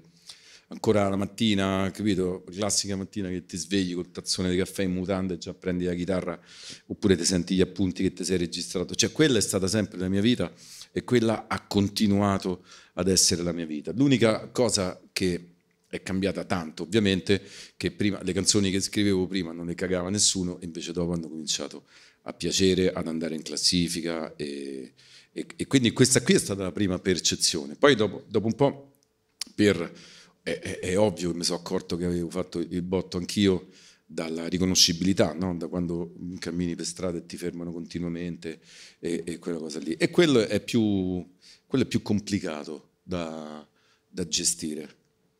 Eh, proprio perché forse se ti succede presto a 20 anni è un conto, a 30 anni poi io già appunto vivevo da solo da tanto, sei già strutturato, quindi dover cambiare poi radicalmente la modalità di vita, la quotidianità, che non è il lavoro, ma vuol dire che, che se vai al bar a berti un caffè e ti compri il giornale ci metti due ore e mezzo perché devi fare foto con tutto, cioè, quindi poi diventa, comincia a diventare complicato ma proprio de- nella gestione logistica delle cose. C'hai un appuntamento a mezzogiorno, dici vabbè, sono le 11, vado a bermi un caffè al bar, torno, doccia veloce e poi a mezzogiorno. No, se devi andare a prendere il caffè al bar e c'è appuntamento a mezzogiorno, ci devi andare alle 9 e mezza al bar. Quindi poi alla fine non ci vai. E quindi alla fine eh, devi fare i conti appunto con la popolarità, che non è soltanto la popolarità delle canzoni, ma è quella tua, quindi con la riconoscibilità. Ecco, e io in questo, per quanto è una figata il fatto musicale, con questo invece mi ci sono sempre un po' scontrato. Eh, Credo di non essere di non essermi mai sentito né aver ambito a diventare un divo. Eh, però a volte quello è invece il ruolo che ti, che ti chiedono. E su, eh, su quello mi sono trovato sempre un po'. Infatti poi io poi dopo piano piano ho imparato così, l'ho metabolizzata come cosa, però all'inizio è stato, stato un- un- proprio uno shock. Infatti io ho fatto 98 disco, Sanremo 99 eh, e poi del 2000 per ri- ritornare in, in me stesso un pochino eh, me ne sono andato e sono stato tipo 7-8 mesi su in Olanda. Eh, poi sono tornato, ho fatto il secondo disco, La Vasca, è stato anche, anche quello un bel successo. E, e dopo La Vasca, anche lì me ne sono tornato tipo 6 mesi, 6 mesi in Olanda. E poi, poi no, poi dal terzo disco in poi, da 7000 caffè, da quel periodo del 2003, i primi 4-5 anni sono stati abbastanza conflittuali col ruolo, quello di personaggio pubblico, perché comunque è strano, ti cambia tutto. Poi dopo eh, cioè, ho capito meglio e ho continuato ad avere un rapporto conflit- conflittuale, però lo sapevo più, più gestire, credo. E cose strane, qui ho delle domande, cose strane che succedono quando sei un musicista pubblico. Eh, nel 1999 hai suonato al fine primo tempo di una partita Europa-Resto del Mondo. E A Roma? penso di sì. Allo Stadio Olimpico? Eh. Coppino? Sì. Sì, sì. Come, com'è Pino che Daniele. ti dicono vuoi suonare all'Olimpico al fine primo tempo della partita Europa-Resto del Mondo? E tu dici ma che cazzo di... Che è? concerto è? Che partita è e che concerto potrà mai essere? E dici vabbè sì, questo proprio anni 90 pieni, anni 90 per gli anni 2000. Com'è fare un evento così che tu sai che non è un concerto e il fine, il fine primo tempo è una partita che pure è strana perché che cazzo di partita è? Beneficenza, tutto straordinario. Ti ricordi? Com- Sì, sì, me lo ricordo bene perché, vabbè, quello è un luogo, cioè a me mi dicono vuoi andare a suonare lì, so che c'è tanta gente e, e mi piace. Poi eh, era la partita, ovviamente vista la squadra strana, le squadre strane, era a beneficenza, quindi mi ricordo che ho dato l'ok e poi anche perché dovevo suonare con Pino Daniele, che, che stimo tantissimo. eh, è stato uno dei più grandi che ci sono mai stati, quindi ero contentissimo e lusingato di suonare, eh, di suonare con lui, quindi poi insomma anche se doveva già... Era la partita strana, pure se avessi dovuto suonare con l'Ostia Mare o l'Alma Strastevere ci sarei andato lo stesso perché suonare con Pino Daniele non mi capitava tutti i giorni, poi lì era all'inizio. Invece era una partita comunque figa, allo Stadio Olimpico, pieno di gente e durante l'intervallo hanno montato un palco al centro dello stadio, abbiamo suonato io e Pino con due chitarre, con le chitarre acustiche, così tipo a casa, però in un posto Però con 75.000, per- anzi forse Sì. nel 99 anche 85.000 con un che sacco, le cose di sicurezza dell'Olimpico un erano sacco di diverse. gente, sì. Però, però era, era bello, poi non conoscevo le squadre, ma poi io non, non- non lo seguo neanche il calcio, quindi seguo solo a Roma. Eh, Poi che, il calcio non mi interessa. che è un modo... No, quindi certe volte quando mi dicono i nomi delle squadre, veramente, veramente io seguo soltanto la Roma, quindi eh, i nomi delle squadre magari no- non le so. E poi la seguo anche comunque in modo, in modo mio, anche il mio essere romanista, sono un romanista sfegatato quando vedo le partite, ma veleno. Poi però se c'ho da fare, se ho i cazzi miei, sto a suonare, mi sono comprato una chitarra nuova, magari per due o tre settimane mi dimentico del campionato, del calcio, quindi mi ritrovo la Roma in, in un'altra posizione di classifica, eh, ma di solito sotto, e, e non me ne ero manco e non me ne ero neanche accorto. insomma, magari quindi- Roma-Monza a mezzogiorno te la perdi e magari ti vedi le partite No, no. in coppa, ci sta. Ma col cazzo, ma la perdo, l'ho vista l'altra ieri. Eh. E sei matto, ho detto il calcio no, ma la Roma la seguo. Ah, Roma sì. Sempre. E, Posso- Stefano, no, ma invece lo conoscevi già Pino Daniele o l'hai conosciuto in quell'occasione? L'ho conosciuto in quell'occasione, personalmente l'ho conosciuto in E quell'occasione. co- com'è stato il- il- quell'incontro? Carino, due musicisti che si incontrano e vogliono suonare insieme. Abbiamo fatto le prove, la prima dentro una specie di sala prove e poi visto che eravamo a due chitarre acustiche, lui carino, dobbiamo fare un'altra prova, ha fatto no ma quale sala? Via a casa mia dai, se famo due spaghetti, a casa come, sua. come cucina Pino Daniele? No, ha cucinato la moglie, Ah, ah, beh, allora. noi suonavamo, Eh, vabbè, eravamo impegnati. Quindi situazione casa, sì, moglie e cucina, bambini, figlia piccola, era tanti anni fa. Quindi molto musicista, musicista, una persona normale. Ma di quel mondo lì, appunto, musicista di quegli anni, con, tu con chi avevi rapporti più stretti? Ma di, di famosi nessuno. Non, Ah, ok. non conoscevo, conoscevo tanti sfamosi che, che però erano bravi musicisti, però di musicisti famosi pop ancora non avevo suonato, non avevo conosciuto nessuno, tranne avevo suonato l'estate prima con, con Irene Grandi, che all'epoca poi spingeva un sacco, era, era forte, però perché ero- facevo il chitarrista suo, quindi ero...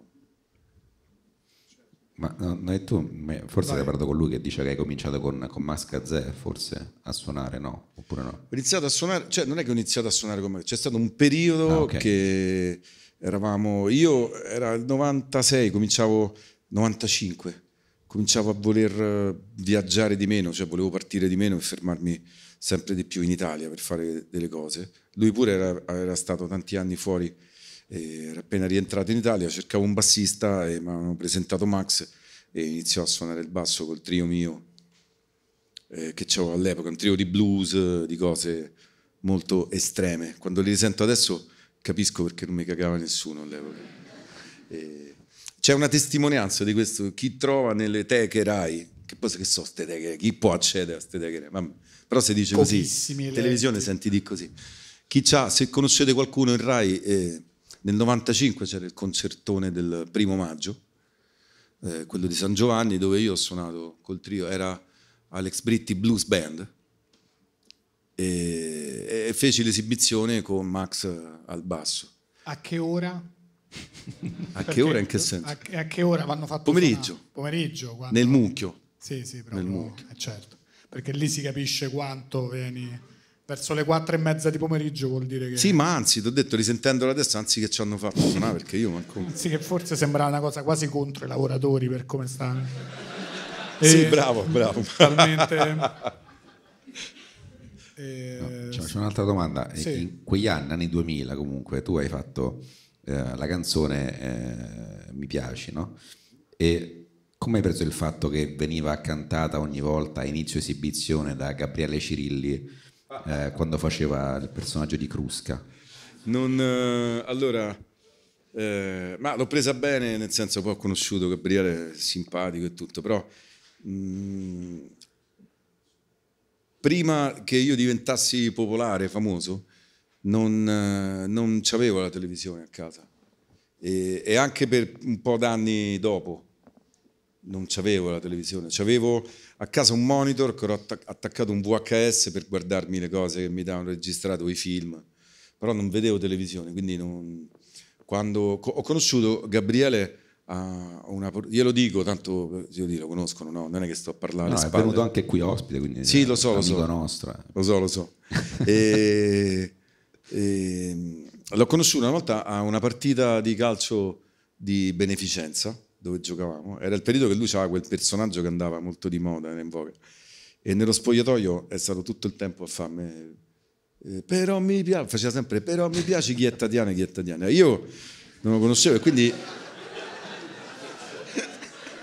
cioè, si era pure messo vicino a me, no? Poi a un certo punto sono andato. Se non uno. lo conosci è strano. se non capisci che sta a fare, dici guardi, io non. Capito? Quindi no, arrivi in uno spogliatoio, la prima volta questo accanto a te, uno che qualcuno ti fa, ah però mi piace, eh, ridi, eh, sì che ridi. Poi dopo un po', però mi piace, eh sì, di... dopo un po' sono andato uno e oh, ma chi è sto rompicoglione? Poi mi ha detto, no guarda è un comico, quello è un personaggio che funziona, così. Poi l'ho conosciuto, sono stato a cena, sono a vedere uno spettacolo suo Insomma, poi l'ho conosciuto, è uno molto carino e a volte meno, perché mi sa che qui non, non è stato... Vabbè, qua, insomma, parte qua ma sono visto. Ha brillato, ha brillato. Eh? No, ha brillato, qua è venuto... Ha brillato? Sì, sì, ha brillato. Ok. Sì, sì. sì non sta simpatico a qualcuno dopo la puntata che ha fatto con voi, però... No, a, qualcu- a qualcuno no, però a noi sì. No. A qualcun altro no. A qualcuno per niente. No, Vabbè. no, probabilmente no. Però a noi Vabbè, affari sì. loro, sono attori, che esatto. noi siamo chef, che ci frega. Esatto. Noi stiamo qua per cucinare, ma che sì, c'è importa? Sì, ma figure. Bello. E... Ah, in realtà c'è una cosa che mi incuriosisce. Dice, ma hai detto, ah, mi piaci? Che quello cantava mi piace? No, mi faceva piacere. Quando ho sì. capito chi era, che era un personaggio, che era un comico, mi ha fatto piacere. Prima pure un po' spaventato. Ho detto, Dio, questo è eh, matto, certo. chissà che fa. Certo, no, meno male. Tutto è bene quel che finisce bene. Sì, sì, sì. sì. Allora, hai detto che la televisione non sei proprio il numero uno a guardarla, che non, non eri e non sei molto aggiornato sulle cose, ma per fare...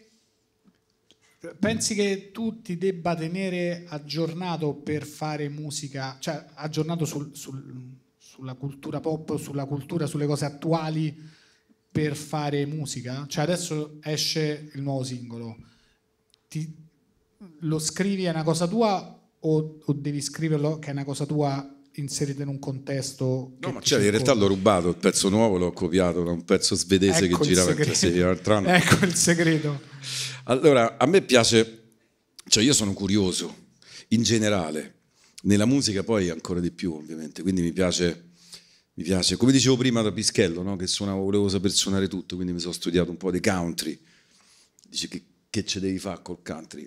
Non lo so, intanto imparo quel linguaggio e lo metto da parte. Mi sono studiato un po' di flamenco, mi sono studiato un po' tanto jazz, blues.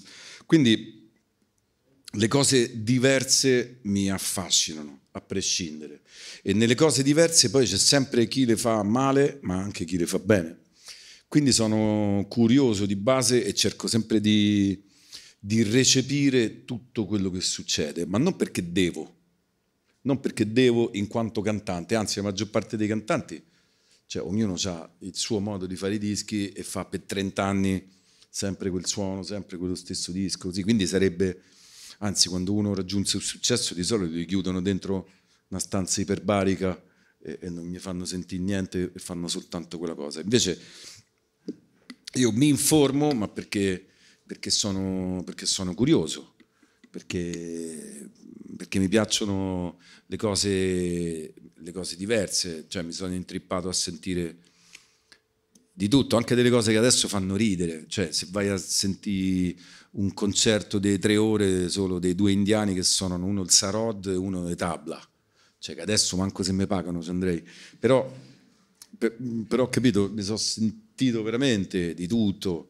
Eh, c'avevo i dischi un periodo, mi ero intrippato, mi sono comprato un sacco di dischi, un clarinettista bulgaro che si. No, no, è vero però, è fortissimo, cercatelo su, da qualche parte, si chiama Ivo Papasov ed è un virtuoso del clarino e c'ha, suona il clarino come... E quindi mi ha intrippato questo. Poi dici, ti sarà servito lui per essere ispirato alle canzoni che fai? Spero di no, però, però me lo so sentito mi piaceva, me lo sono sentito un sacco. Poi appunto ho avuto il trip per periodi, appunto quando sperimentavo, quindi la musica indiana, eh, mi sono andato a vedere Ravi Shankar a Santa Cecilia, eh, ho visto un sacco di concerti di qualsiasi tipo di musica. E quindi adesso mi fa ridere, cioè, quando, perché no? Quando arrivano dei nuovi tipi di musica, eh, va sempre bene. Se, se, funzionano a qualcuno piace, vuol dire che dentro hanno un'alchimia, hanno un qualcosa. Io voglio, capi, voglio capire cosa hanno. Poi non vuol dire che mi sento quella cosa dalla mattina alla sera. Adesso va di moda, per esempio, adesso eh, tutti quelli fighi eh, danno addosso alla trap, no? Oggi se dici trap, ah, tutti così è. Poi sono gli unici che vendono, sono gli unici che fanno. Però quello è un altro discorso. E, e poi la trap... Eh, Certo, perché ho nominato la trap. Mo, tutta... E mo devi finire il discorso. No, nel senso che c'è, anche lì c'è, no, perché poi c'è un sacco di amici che la fanno, però eh, anche lì c'è, cioè, ne, nella trap, poi diciamo nel rap in generale, poi la trap è ancora più diversa. Eh, il rap è un po' più nobile, la trap è un po' più, boh, un po' più poppetta, un po' più commerciale, quello che una volta si diceva il commerciale.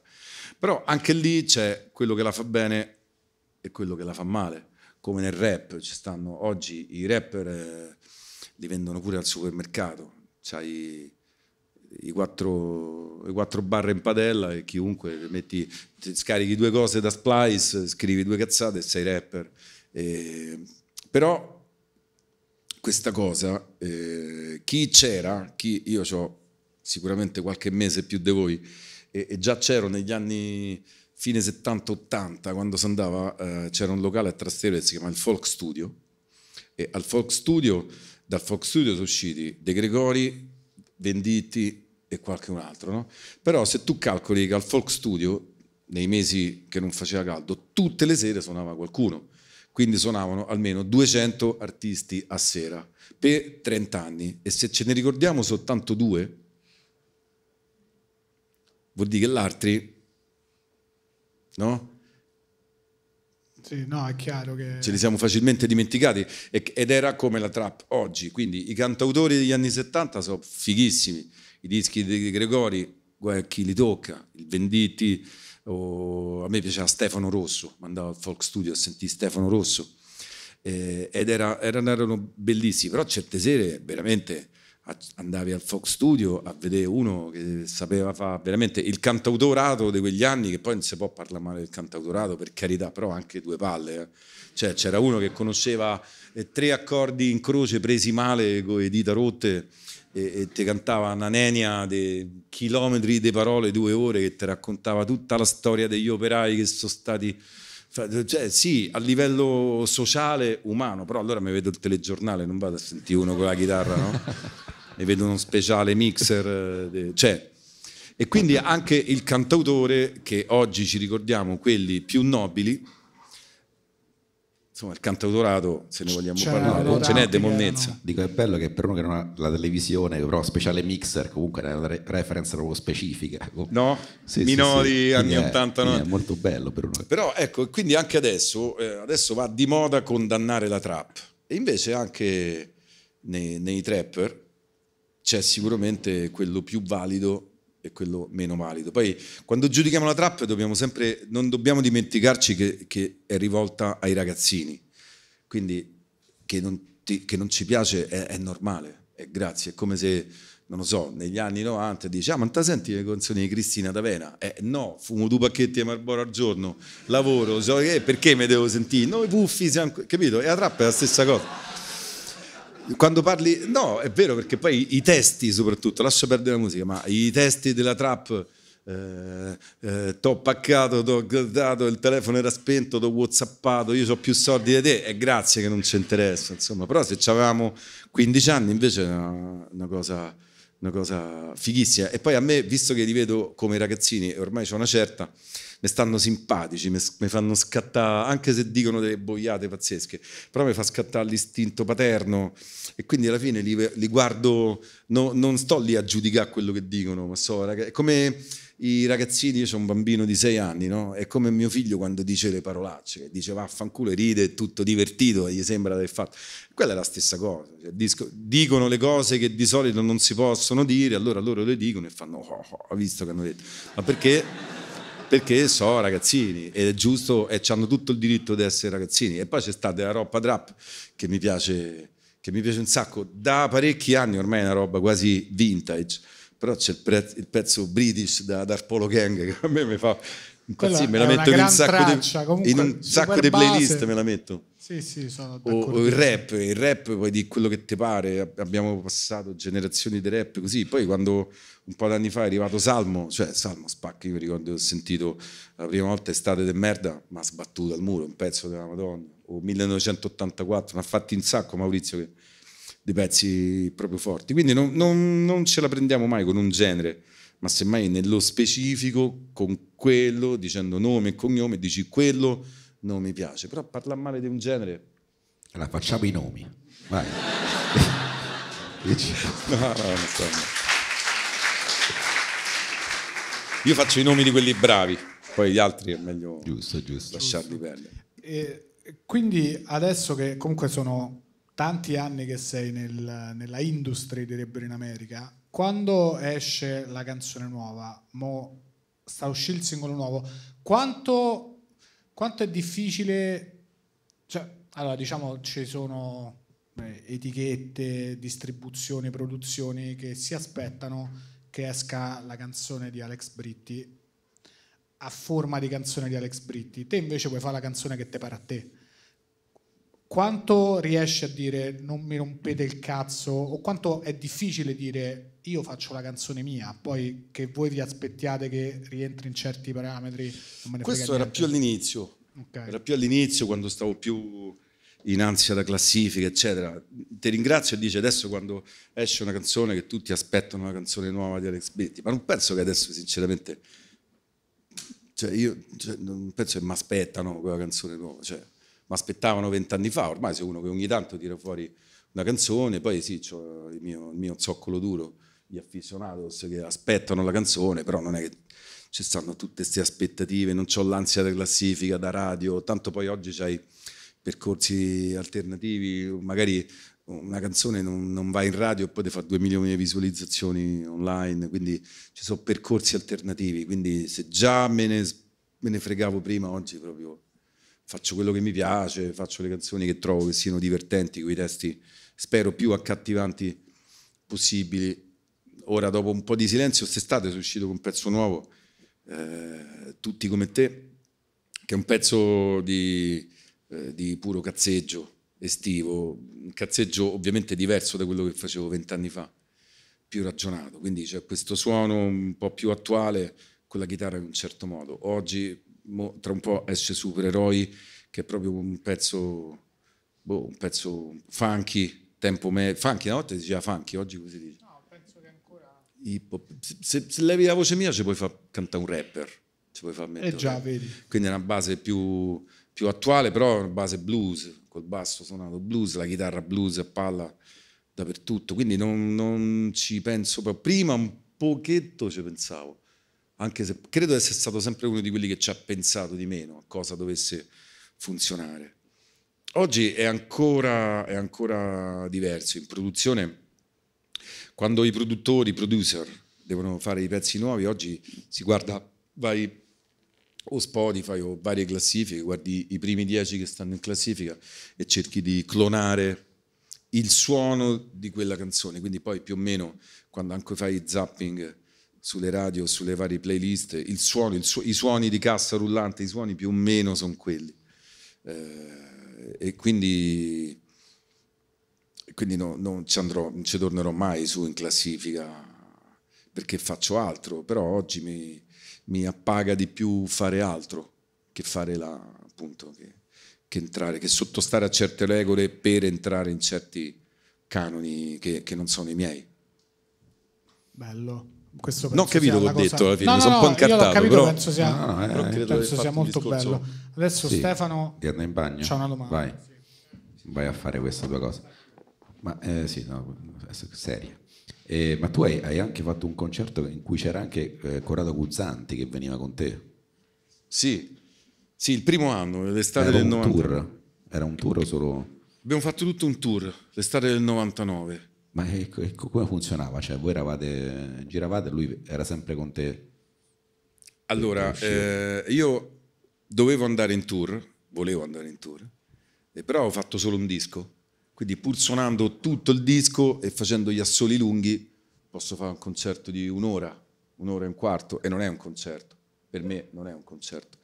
Eh, di fare cover non mi andava, allora insieme a un amico che fa l'autore, è diventato anche un autore importante oggi, Sergio Rubino, che saluto.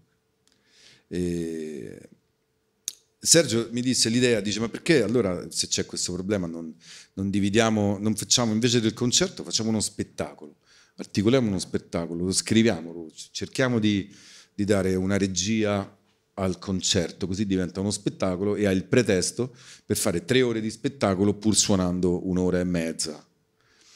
E quindi abbiamo fatto... Eh, gli spettacoli erano articolati in questo modo. Iniziava eh, una band locale a chilometro zero, dovunque stavamo c'era sempre una band perlomeno regionale, se non proprio della città. E apriva il concerto e gli facevamo aprire il concerto. Quindi iniziavano e si facevano i loro 20 minuti, mezz'ora. L'ultimo brano che suonavano salivo io sul palco e suonavo la chitarra con loro. Quindi mi mandavano i brani, me li studiavo. E sul finale lungo, sai quando dal vivo fai il finale lungo, no? che c'è ta, ta, ta, e lo tieni, su quel finale lungo entrava Corrado che faceva un personaggio dei suoi, uno dei più esileranti tra l'altro, che era Lorenzo. Lorenzo, quello è perché usa cerne, quello e, e, faceva quello lì che faceva finta di essersi sbagliato, cercava il bagno, invece era finito sul palco e faceva il suo pezzo, mentre gli altri piano piano se ne andavano, io rimanevo sul palco a dargli gli attacchi, a fargli da spalla e poi alla fine riuscivo a convincerlo, dai, lasciamo, questo è un concerto, lasciamo fare lo spettacolo e riuscivo a portarlo via. Quindi nel frattempo si era già fatta, metti, mezz'ora di band che apriva e 10-15 minuti di Corrado che faceva che faceva Lorenzo. Dopodiché portavo via Lorenzo. C'era Radio DJ, che era un terzo complice, e, e saliva un DJ della radio, Albertino o Paoletta all'epoca, o Prezioso, uno dei tre che giravano in base a chi era libero, e, e faceva mezz'ora, 40 minuti di discoteca. Quindi si alzavano due torri con le cubiste sopra, scosciate, luci, casino, e quindi diventava una discoteca. Dopodiché, dopo una mezz'ora di discoteca, sempre iniziando a suonare sulle basi della discoteca, in quella modalità, partiva il concerto. E io facevo all'incirca um, un terzo del concerto, dopodiché saliva Corrado e veniva a disturbare il concerto e faceva quello, faceva quello e ti assicuro che avevo visto tutte le puntate di l'ottavo nano, mi sembra che era quello, era l'ottavo Ma nano. c'è la televisione, ce l'avevi? Cioè, come facevi a vederle queste? Videocassetta. Ah, videocassette, ah, tutto... ah. Perché le cose che mi piacevano le facevo registrare Ok. poi me le sparavo. via. Come oggi YouTube, dai. Sì, sì. ok. E, e quindi, no, ma ti, ti garantisco che vedersi, nonostante poi lo spettacolo è quello, no? E quando dopo tante repliche è sempre quello, però vedersi Corrado che fa quello dal vivo, cioè io non riuscivo, non riuscivo, anche le stesse battute tutte le sere, tutte le sere ridevo come un matto. E, e avevo difficoltà, poi c'è, poi devi cantare una canzone seria dopo che hai sentito quello che dice maestro c'è vita dopo la morte, ma solo un po' il sabato sera, capito? Queste battute che a me mi sdraiavano, cioè mi... Vabbè, poi ricominciavo il concerto, facevo un altro pezzo di concerto e poi in- interrompeva di nuovo che faceva un altro personaggio che, che l'ho conosciuto però dal vivo, che era un poeta, il poetino mi pare, chiama, che era un poeta che scriveva soltanto poesie su Valeria Marini. È già anche lì. E quello veniva, in realtà io dovevo suonare mentre lui faceva sta cosa, io non ci riuscivo perché era, era un casino. Vabbè, e comunque così si allungava un po', diventava uno spettacolo articolato con una regia e poi alla fine, eh, quando finiva il concerto con le luci, c'era il fuoco, alla fine un sacco di, un po' di circo si faceva. Quando faceva- finiva il concerto eh, riprendevano i DJ a mettere la musica da discoteca e facevano un'altra mezz'ora, un'ora, fino a che c'era gente che andava da stare lì facevano la discoteca. E quindi così facendo diventava uno spettacolo di tre ore, tre ore e mezzo, divertente, più ogni tanto anche ospiti, cose, insomma, e quindi questa, quella lì è stata l'estate che abbiamo girato divisi ma insieme perché poi sul palco interagivamo con Corrado ed era, E- era divertentissimo, anch'io mi... poi non ho più sentito dopo, devo dire. ah, Sono più... Lui difficile da Si è divertito tanto, mi sa. mi sa, sì. Eh? Difficile da raggiungere. Vorremmo averlo ospite al podcast, ma per ora ma non, però... non- ha funzionato. No, ma lui è uno molto introverso, fa poche cose, gira Eh, ma infatti fuori dal palco cioè, interagivate oppure ognuno stava per i fatti suoi? No, si interagiva pure, per carità. Però insomma è uno molto timido, molto chiuso. Perlomeno come l'ho conosciuto io non è lo stesso che vedi sul palco o in televisione, insomma. Ma Quindi interazioni minime eh, relative al... No, scusa, chiedo per cur- curiosità. Cioè, Sì. spe- Sì. Ma ogni volta che parlo c'è qualcuno che... che si forse è proprio Corrado Eh, Guzzanti. forse è lui. È il cugino non di vuole Corrado. Che si Eh. sappia. Ma interagire sì, ma non è per, eh, per, eh, per quanto sei amico, simpatico, perché quando fai i concerti, eh, i festival, le cose, in realtà poi davanti vedi una cosa, ma dietro il palco non è che c'hai tempo di stare insieme, di interagire. Poi sì, capita che te vai a mangiare qualcosa dopo lo spettacolo, eccetera, però ognuno ha le cose sue.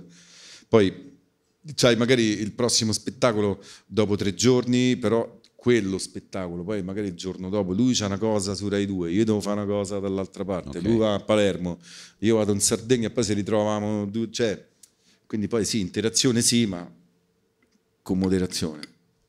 Certo. E- ma in questi concerti show mi sono perso la prima parte perché devo fare una cosa importantissima. E in questi concerti show lui era annunciato, cioè la- le persone sapevano che avrebbe interrotto il Sì, concerto. sì. Ah, ok. Cioè no, che avrebbe interrotto il concerto, no, però lo Sapevano che spettacolo era annunciato, si chiamava il Tour sulle spiagge e, e c'era scritto Alex Britti con Corrado Guzzanti e i ragazzi di Radio DJ. E con questa formula abbiamo fatto un sacco di concerti. Ah, e poi erano tutti sulla spiaggia, tutti i concerti sulla, sulla spiaggia, tranne, tranne a Bologna, per ovvi motivi, perché dovrebbe essere stata lunga la spiaggia per arrivare fino al mare. E, e anche Roma. Roma non, è- non abbiamo fatto... Quindi precursori del Jova Beach Party avete portato Sì, in qualche modo. Vabbè, un concerto sulla spiaggia. Concerto sulla spiaggia, adesso senza stare a scomodare brand, effettivamente. Ho detto una cosa di cattivo gusto. Stefano, Posso? Sì, c'ho altre due, due domande. C'ho, c'ho due domande e poi fai, fai tu. Sì. Ma poi tu hai fatto anche il, il um, ad Amici di Maria De Filippi il, sì. il, il, giurato, come si dice? No, il giudice. Giudice, il giurato. Il giurato coach. È cosa. Coach, sì. coach. Che come, com'era, cioè, com'era lavorare lì co- con lei, con la De Filippi? Allora, no, cioè, lavori nel contesto di Maria, però non lavori, non lavori mai con, con, Maria. Cioè, il mio ruolo era essere il coach dei ragazzi, quindi allenare e far fare le prove pomeriggio in sala prove e portare i ragazzi a una maturità eh, vocale, musicale in generale, tale da poi fare l'esibizione e fare bella figura davanti a Maria. E poi, anzi, l'avrei voluta vedere anche più spesso, perché poi Maria una, la conosco, siamo amici grazie a Maurizio, insomma. E, ed è una molto carina, molto divertente, simpatica. Però poi lì la vedevo, purtroppo la vedevo poco. La vedevo, vedevo i ragazzi in sala e poi la, la vedevo quando c'erano le puntate, quindi sì, la sigaretta, il caffè, cose, però poi c'era eh, poco tempo. Sì. Molto bravo. E avendo lavorato quindi a Mediaset e, e, essendo famoso in quegli anni, essendo insomma stato molto famoso in quegli anni lì, insomma 90-2000, hai mai, hai mai incontrato Berlusconi? No, ah. non l'ho mai incrociato. Avrei voluto perché insomma comunque è un personaggio eh. carismatico perlomeno. Però mai... No, non ho mai incontrato. Neanche un dell'Utri, no. no. no. Sarebbe stato okay. ancora più strano, cioè, cioè, perché mai avrebbe dovuto... Non ho incontrato Berlusconi, però che dell'Utri so. varie volte, appassionato di trattorie minori. No, no. No, no, vabbè, vabbè. No, era curioso se magari avessi detto quel ragazzo mi piace. No, ma con, con, con quelle fasce più alte eh, ci parlano dall'ufficio, non ci parlo io direttamente. Poi qualcuno me, magari mi è capitato anche di incontrare, sia in Mediaset che in Rai, che in, però insomma no, nello specifico il Cavaliere e i suoi no, purtroppo ah. no, devo dire purtroppo. Peccato, peccato.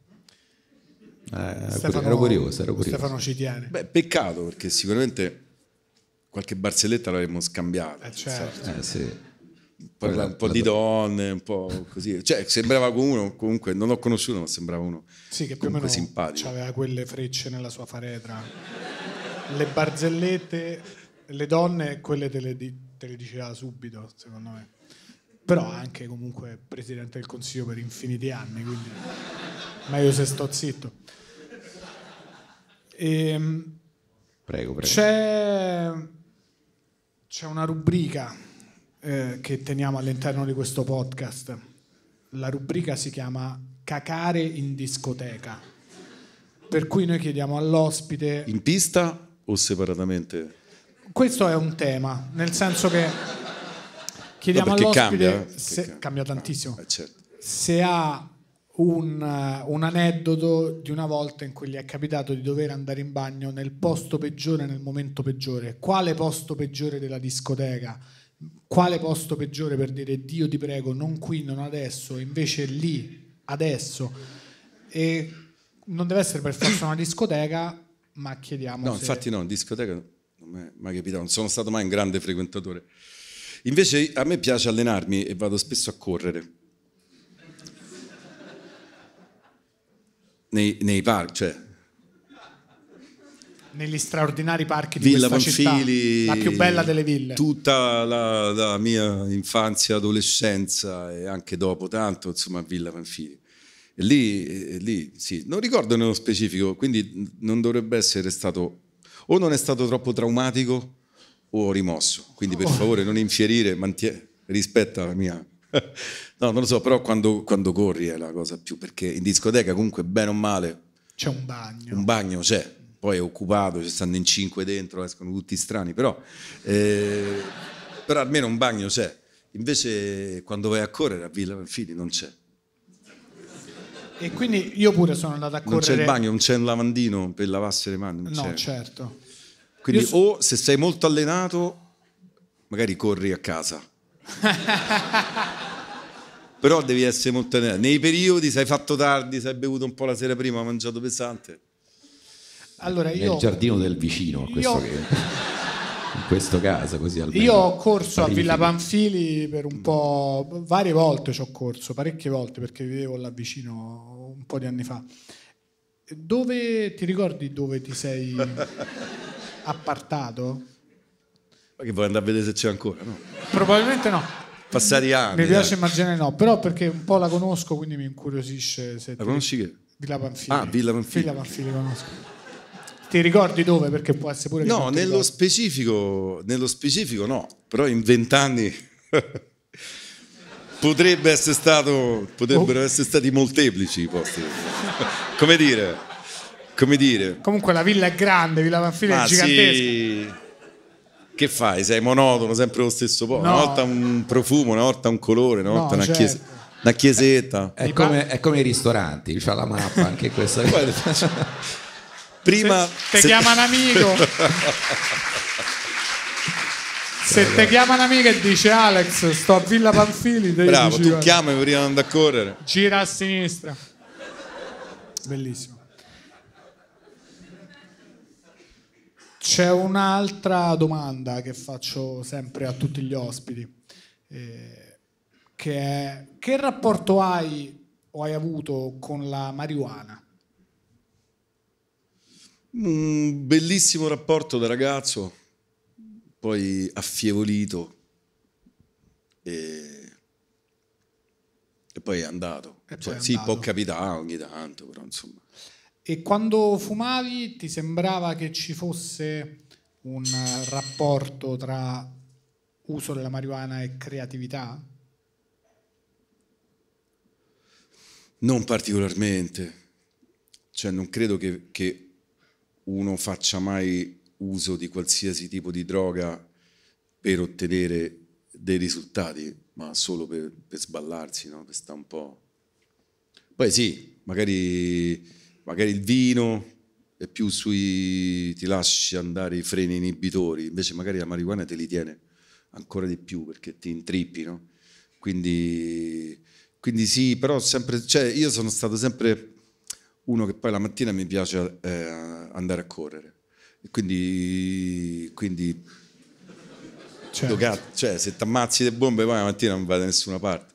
Quindi sì, una cannettina ci stava, però sempre in un modo appunto che poi la mattina mi sveglio, mi faccio, mi bevo i miei 14 caffè e poi me ne vado a correre. E quindi quello, quello è il bilancio. Quindi tutto, Comunque, Questo- non, la, non la scelta migliore forse. questo spiega... apposta poi mi fermo a Villa Manfili perché Certo. Senti, quindi anni 90, Amsterdam, tu dici no, no, io vado a correre domani. Cioè, Ah, ma non lo so, poteva capitare, però non, non, non era... una passione. non era una passione, ma come dici, eh, il, non lo so, eh, il vino o Amsterdam, c'è il museo di Van Gogh, Sì. che è fantastico, ci sono stato qualche volta, però non è che poi stai tutti i giorni al museo di Van Gogh, c'hai pure altre cose da fare. E così è così tutto il resto, di conseguenza anche i coffee shop, le marijuane e tutto il resto. Io penso se non fa male, se poi ti svegli la mattina e stai bene e sei in grado di fare quello che... Quando esageri poi non sei in grado di farlo, quindi lo puoi fare una volta ogni tanto e poi più da ragazzo. Poi quando cresci e c'hai qualche annetto, anche se comunque ti mantieni, vai a correre così e tutti dicono ammazza stai una favola, ti davo almeno sei mesi più giovane.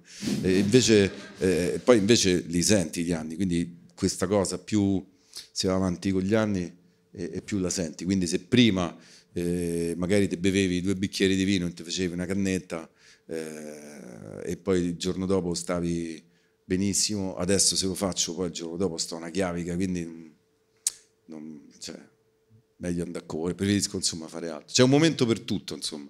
Fai le elementari a sei anni, poi le medie, poi passi all'università e poi quindi adesso sto in un'altra, Sono un'altra fase, fase, no, è giusto. della mia vita, sì.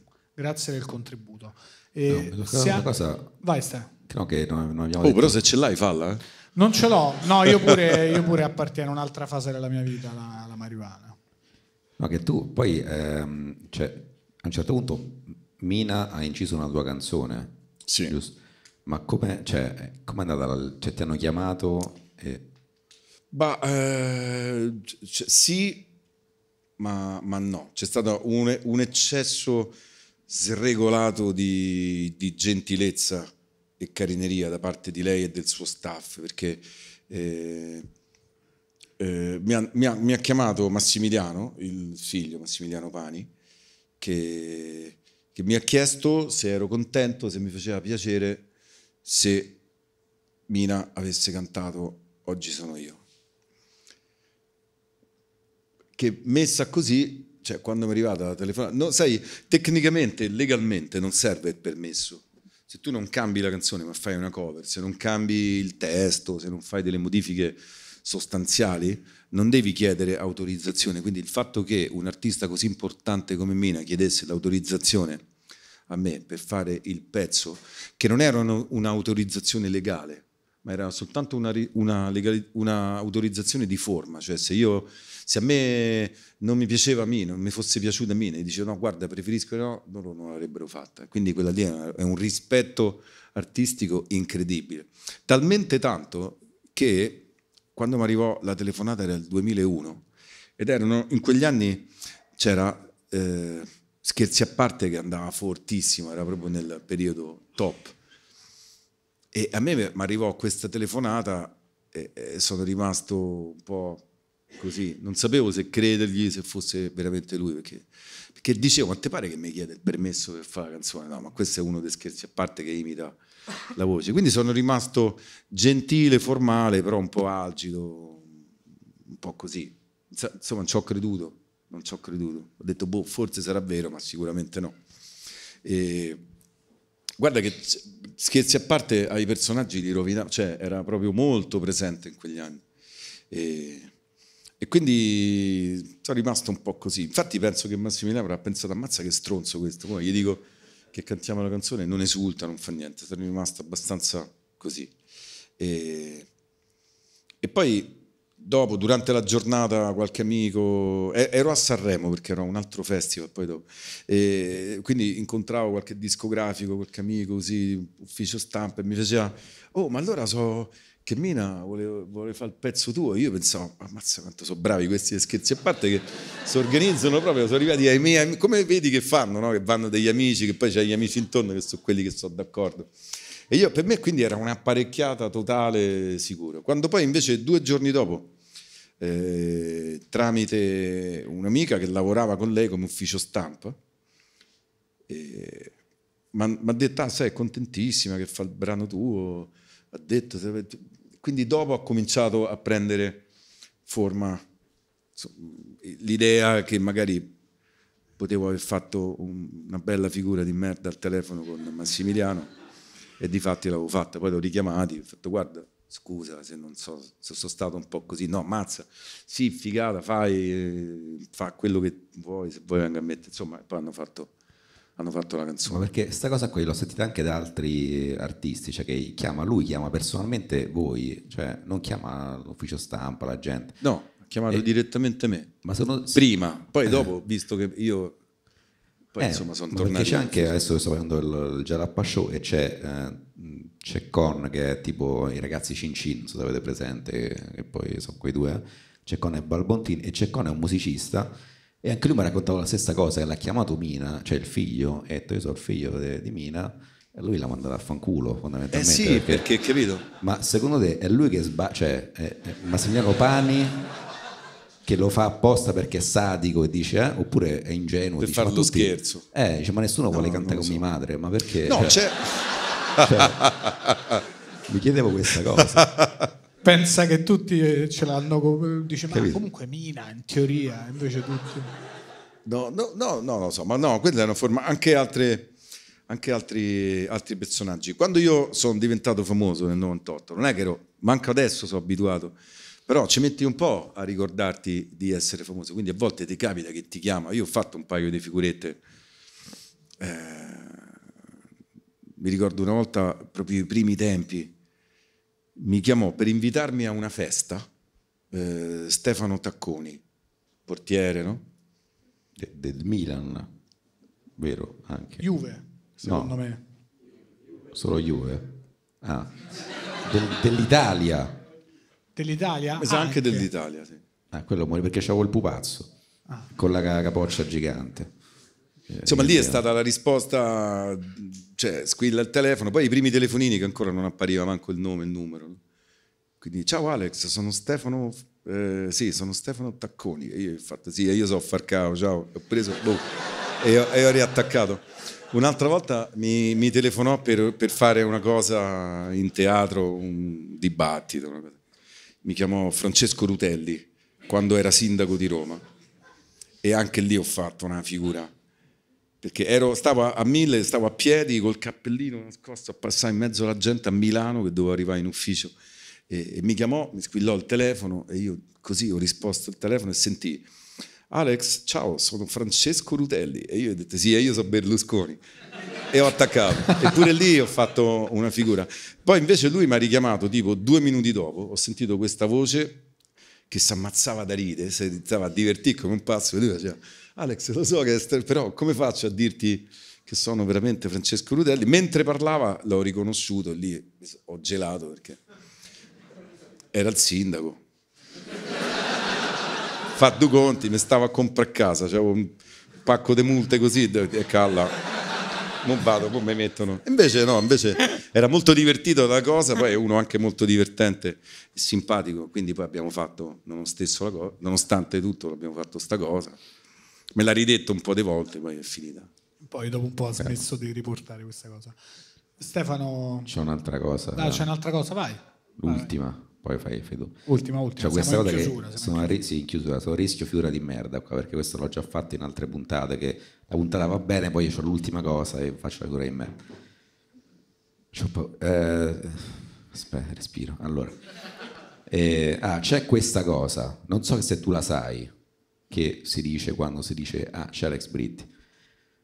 Ma è successo anche di recente che tipo, ah, c'è Alex Britti, viene qua, e lui fa, oh, e mi dicono, lui fa, fa canzoni pop, però è un chitarrista della Madonna. C'è questa cosa qui. Cioè, te ti è mai arrivata questa cosa? Sì, eh, c'è pure un meme che gira. Ah, ok. Ah, Il quanto ci capisco, non so se conosci. Vabbè, c'è un meme di uno che dice: Ah, Britti fa pop, però suona la chitarra, eh", poi si gira e fa quanto ci capisco. È una cosa fa ridere. Ma eh, sì, eh, sì, sì, rimango sempre, cioè ormai sono abituato, però se- rimango sempre un po' basito dal fatto che bisogna per forza staccare le due cose. Cioè, Pure Eric Clapton fa i pezzi pop, però è un chitarrista forte, molto più forte, abbiamo detto lui, non per eguagliarmi, per carità. Però non, non viene mai detto, eh, Clapton fa i pezzi pop, però è un grande chitarrista. Invece su di me, sugli italiani, ma anche di Pino si diceva questa cosa, anche di Ivan Graziani si diceva questa cosa. Perché non abbiamo l'abitudine a, a far sì che uno si sveglia, scrive, scrive canzoni pop, però poi suona la chitarra bene. È, cioè, viene sempre considerata come come due cose diverse. Invece io non è che sono uno o l'altro, io sono così, nel bene o nel male. quindi non ci dovrebbe essere questo però. Cioè, fa canzoni pop e è un chitarrista Esatto, e basta. Fa canzoni pop e suona più o meno bene, come ti piace, quello piace o quello di meno, però so uno che scrive canzoni pop e suona la chitarra in un certo modo, e non però, però, però che? Cioè, no? Giusto, sono d'accordo. Sì, anche per grammatica proprio. però, Sì, è più breve e giusto. Cioè io mi vedo così, insomma. Ci sta. Senza, ti ho detto, senza uguagliarmi a nessuno, non voglio paragonarmi a Hendrix, che faceva canzoni pop, Monterey Pop Festival all'isola di White, era il pop dell'epoca e poi suonava la chitarra così. Io sono cresciuto guardando quelli e sono uscito fuori così. Non so se è un bene o un male, però io questo so. Sembrerebbe un bene. Da, Sembrerebbe un bene. Sembrerebbe un bene. Però si può usare, dice allora, Britti è un cantante pop, suona la chitarra bene, però cucina. Ah, Bellissimo. esatto. Allora, allora Esatto. lì il però... Quello è stupendo, stare, però non hai capito come Però va a cazzo correre, gli piace allenarsi. Allora sì, Sì, sì, c'è il sì. però. Ma finché canti e suoni, secondo me, Ci sta, non ci serve, ci sta, sì. Siamo in chiusura. e, e, può essere che chiudiamo qua la puntata online, eh, però ti volevo chiedere se ti andava di suonare qualcosa, visto che ti hanno messo la chitarra là e fare... Sì, no, non tanto. Stacquato. Se non ti va, no. puoi non farlo. Dai, scherzo. no, no, no pote- poteva essere, eh, cioè la... ma infatti... La chiudevamo. Quanto era bello. La chiudevamo, non, non volevamo fare la trappola. No, era bellissimo se finiamo la puntata con questa chitarra qua, tutta l'aspettativa fino alla fine. E poi alla fine arrivederci. No, però lo, ci, pote, ci poteva stare se non ti andava. Alla fine con la chitarra o una padella. Quindi esatto. forse Beh, meglio la chitarra. La prossima volta vieni Fornelli e induzione, diciamo, senti, questi stanno qua, se ti va... Ah, e possiamo... Ecco, l'asta, aspetta. C'è pure... Ah, uh. Ammazza. Abbiamo fatto i soldi, abbiamo preso pure... Aspetta però...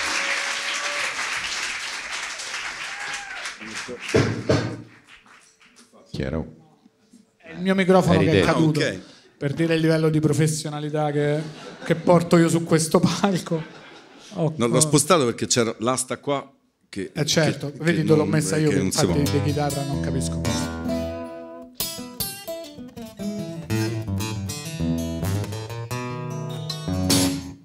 Aspetta, prendo una penna. Ah, qua ce l'ho, ce l'ho. Immaginavamo però...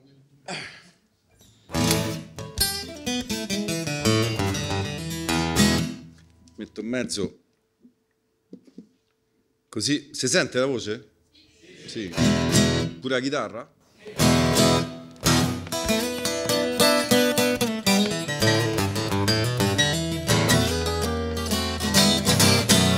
Da piccolo facevo discorsi a volte strani, chiedevo se è normale fare tutto con le mani. A volte usavo i piedi, prendevo cose in terra. Chiedevo fosse giusta tutta questa brutta guerra. Popolazioni intere spararsi tra di loro. Spartirsi quattro campi, una bandiera nuova e loro. E quindi già da piccolo partivano le incertezze E quindi domandavo forse in cerca di carezze. Ma i dubbi rimanevano, vedevo un mondo strano. Come se una grande barca viaggia senza capitano si va? Se si va dove si va, se si va. Da piccolo vedevo le cose in televisione, già capivo che era tutto solo una finzione, che l'isola del tesoro non era chissà dove, basterà cercare il sole, non imporsi quando piove. La logica non c'entra, non l'hanno mai inventata, è solo un altro modo per girare la frittata. E finché c'è gente in giro che voglia di barare, c'è qualcuno con una mazza gliela vuole far pagare. E quindi c'è lo stress, regna solo confusione. Però ho letto sul giornale che te sei bravo ti faranno un clone. Dove si va? Se si va? Dove si va? Se si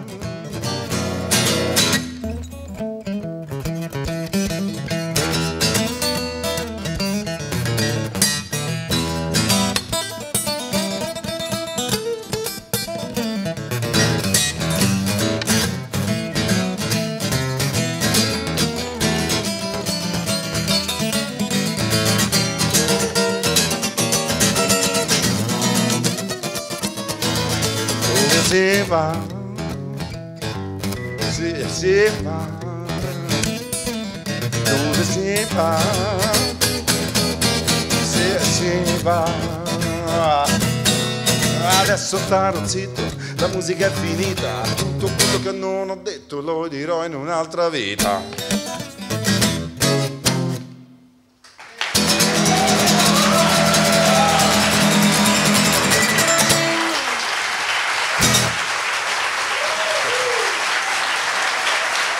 Grazie, grazie. Signore e signori, Alex Britti. Grazie mille. Grazie, grazie, grazie. Grazie. Oh, se vi va, fate anche un applauso a Stefano Rapone, a Snodo, a The Comedy Club. A voi che siete venuti qua stasera, che siete tantissimi, grazie. E un altro applauso all'ospite. Grazie, grazie. Ciao a tutte. Ciao a tutti, ci vediamo alla prossima puntata. Ciao.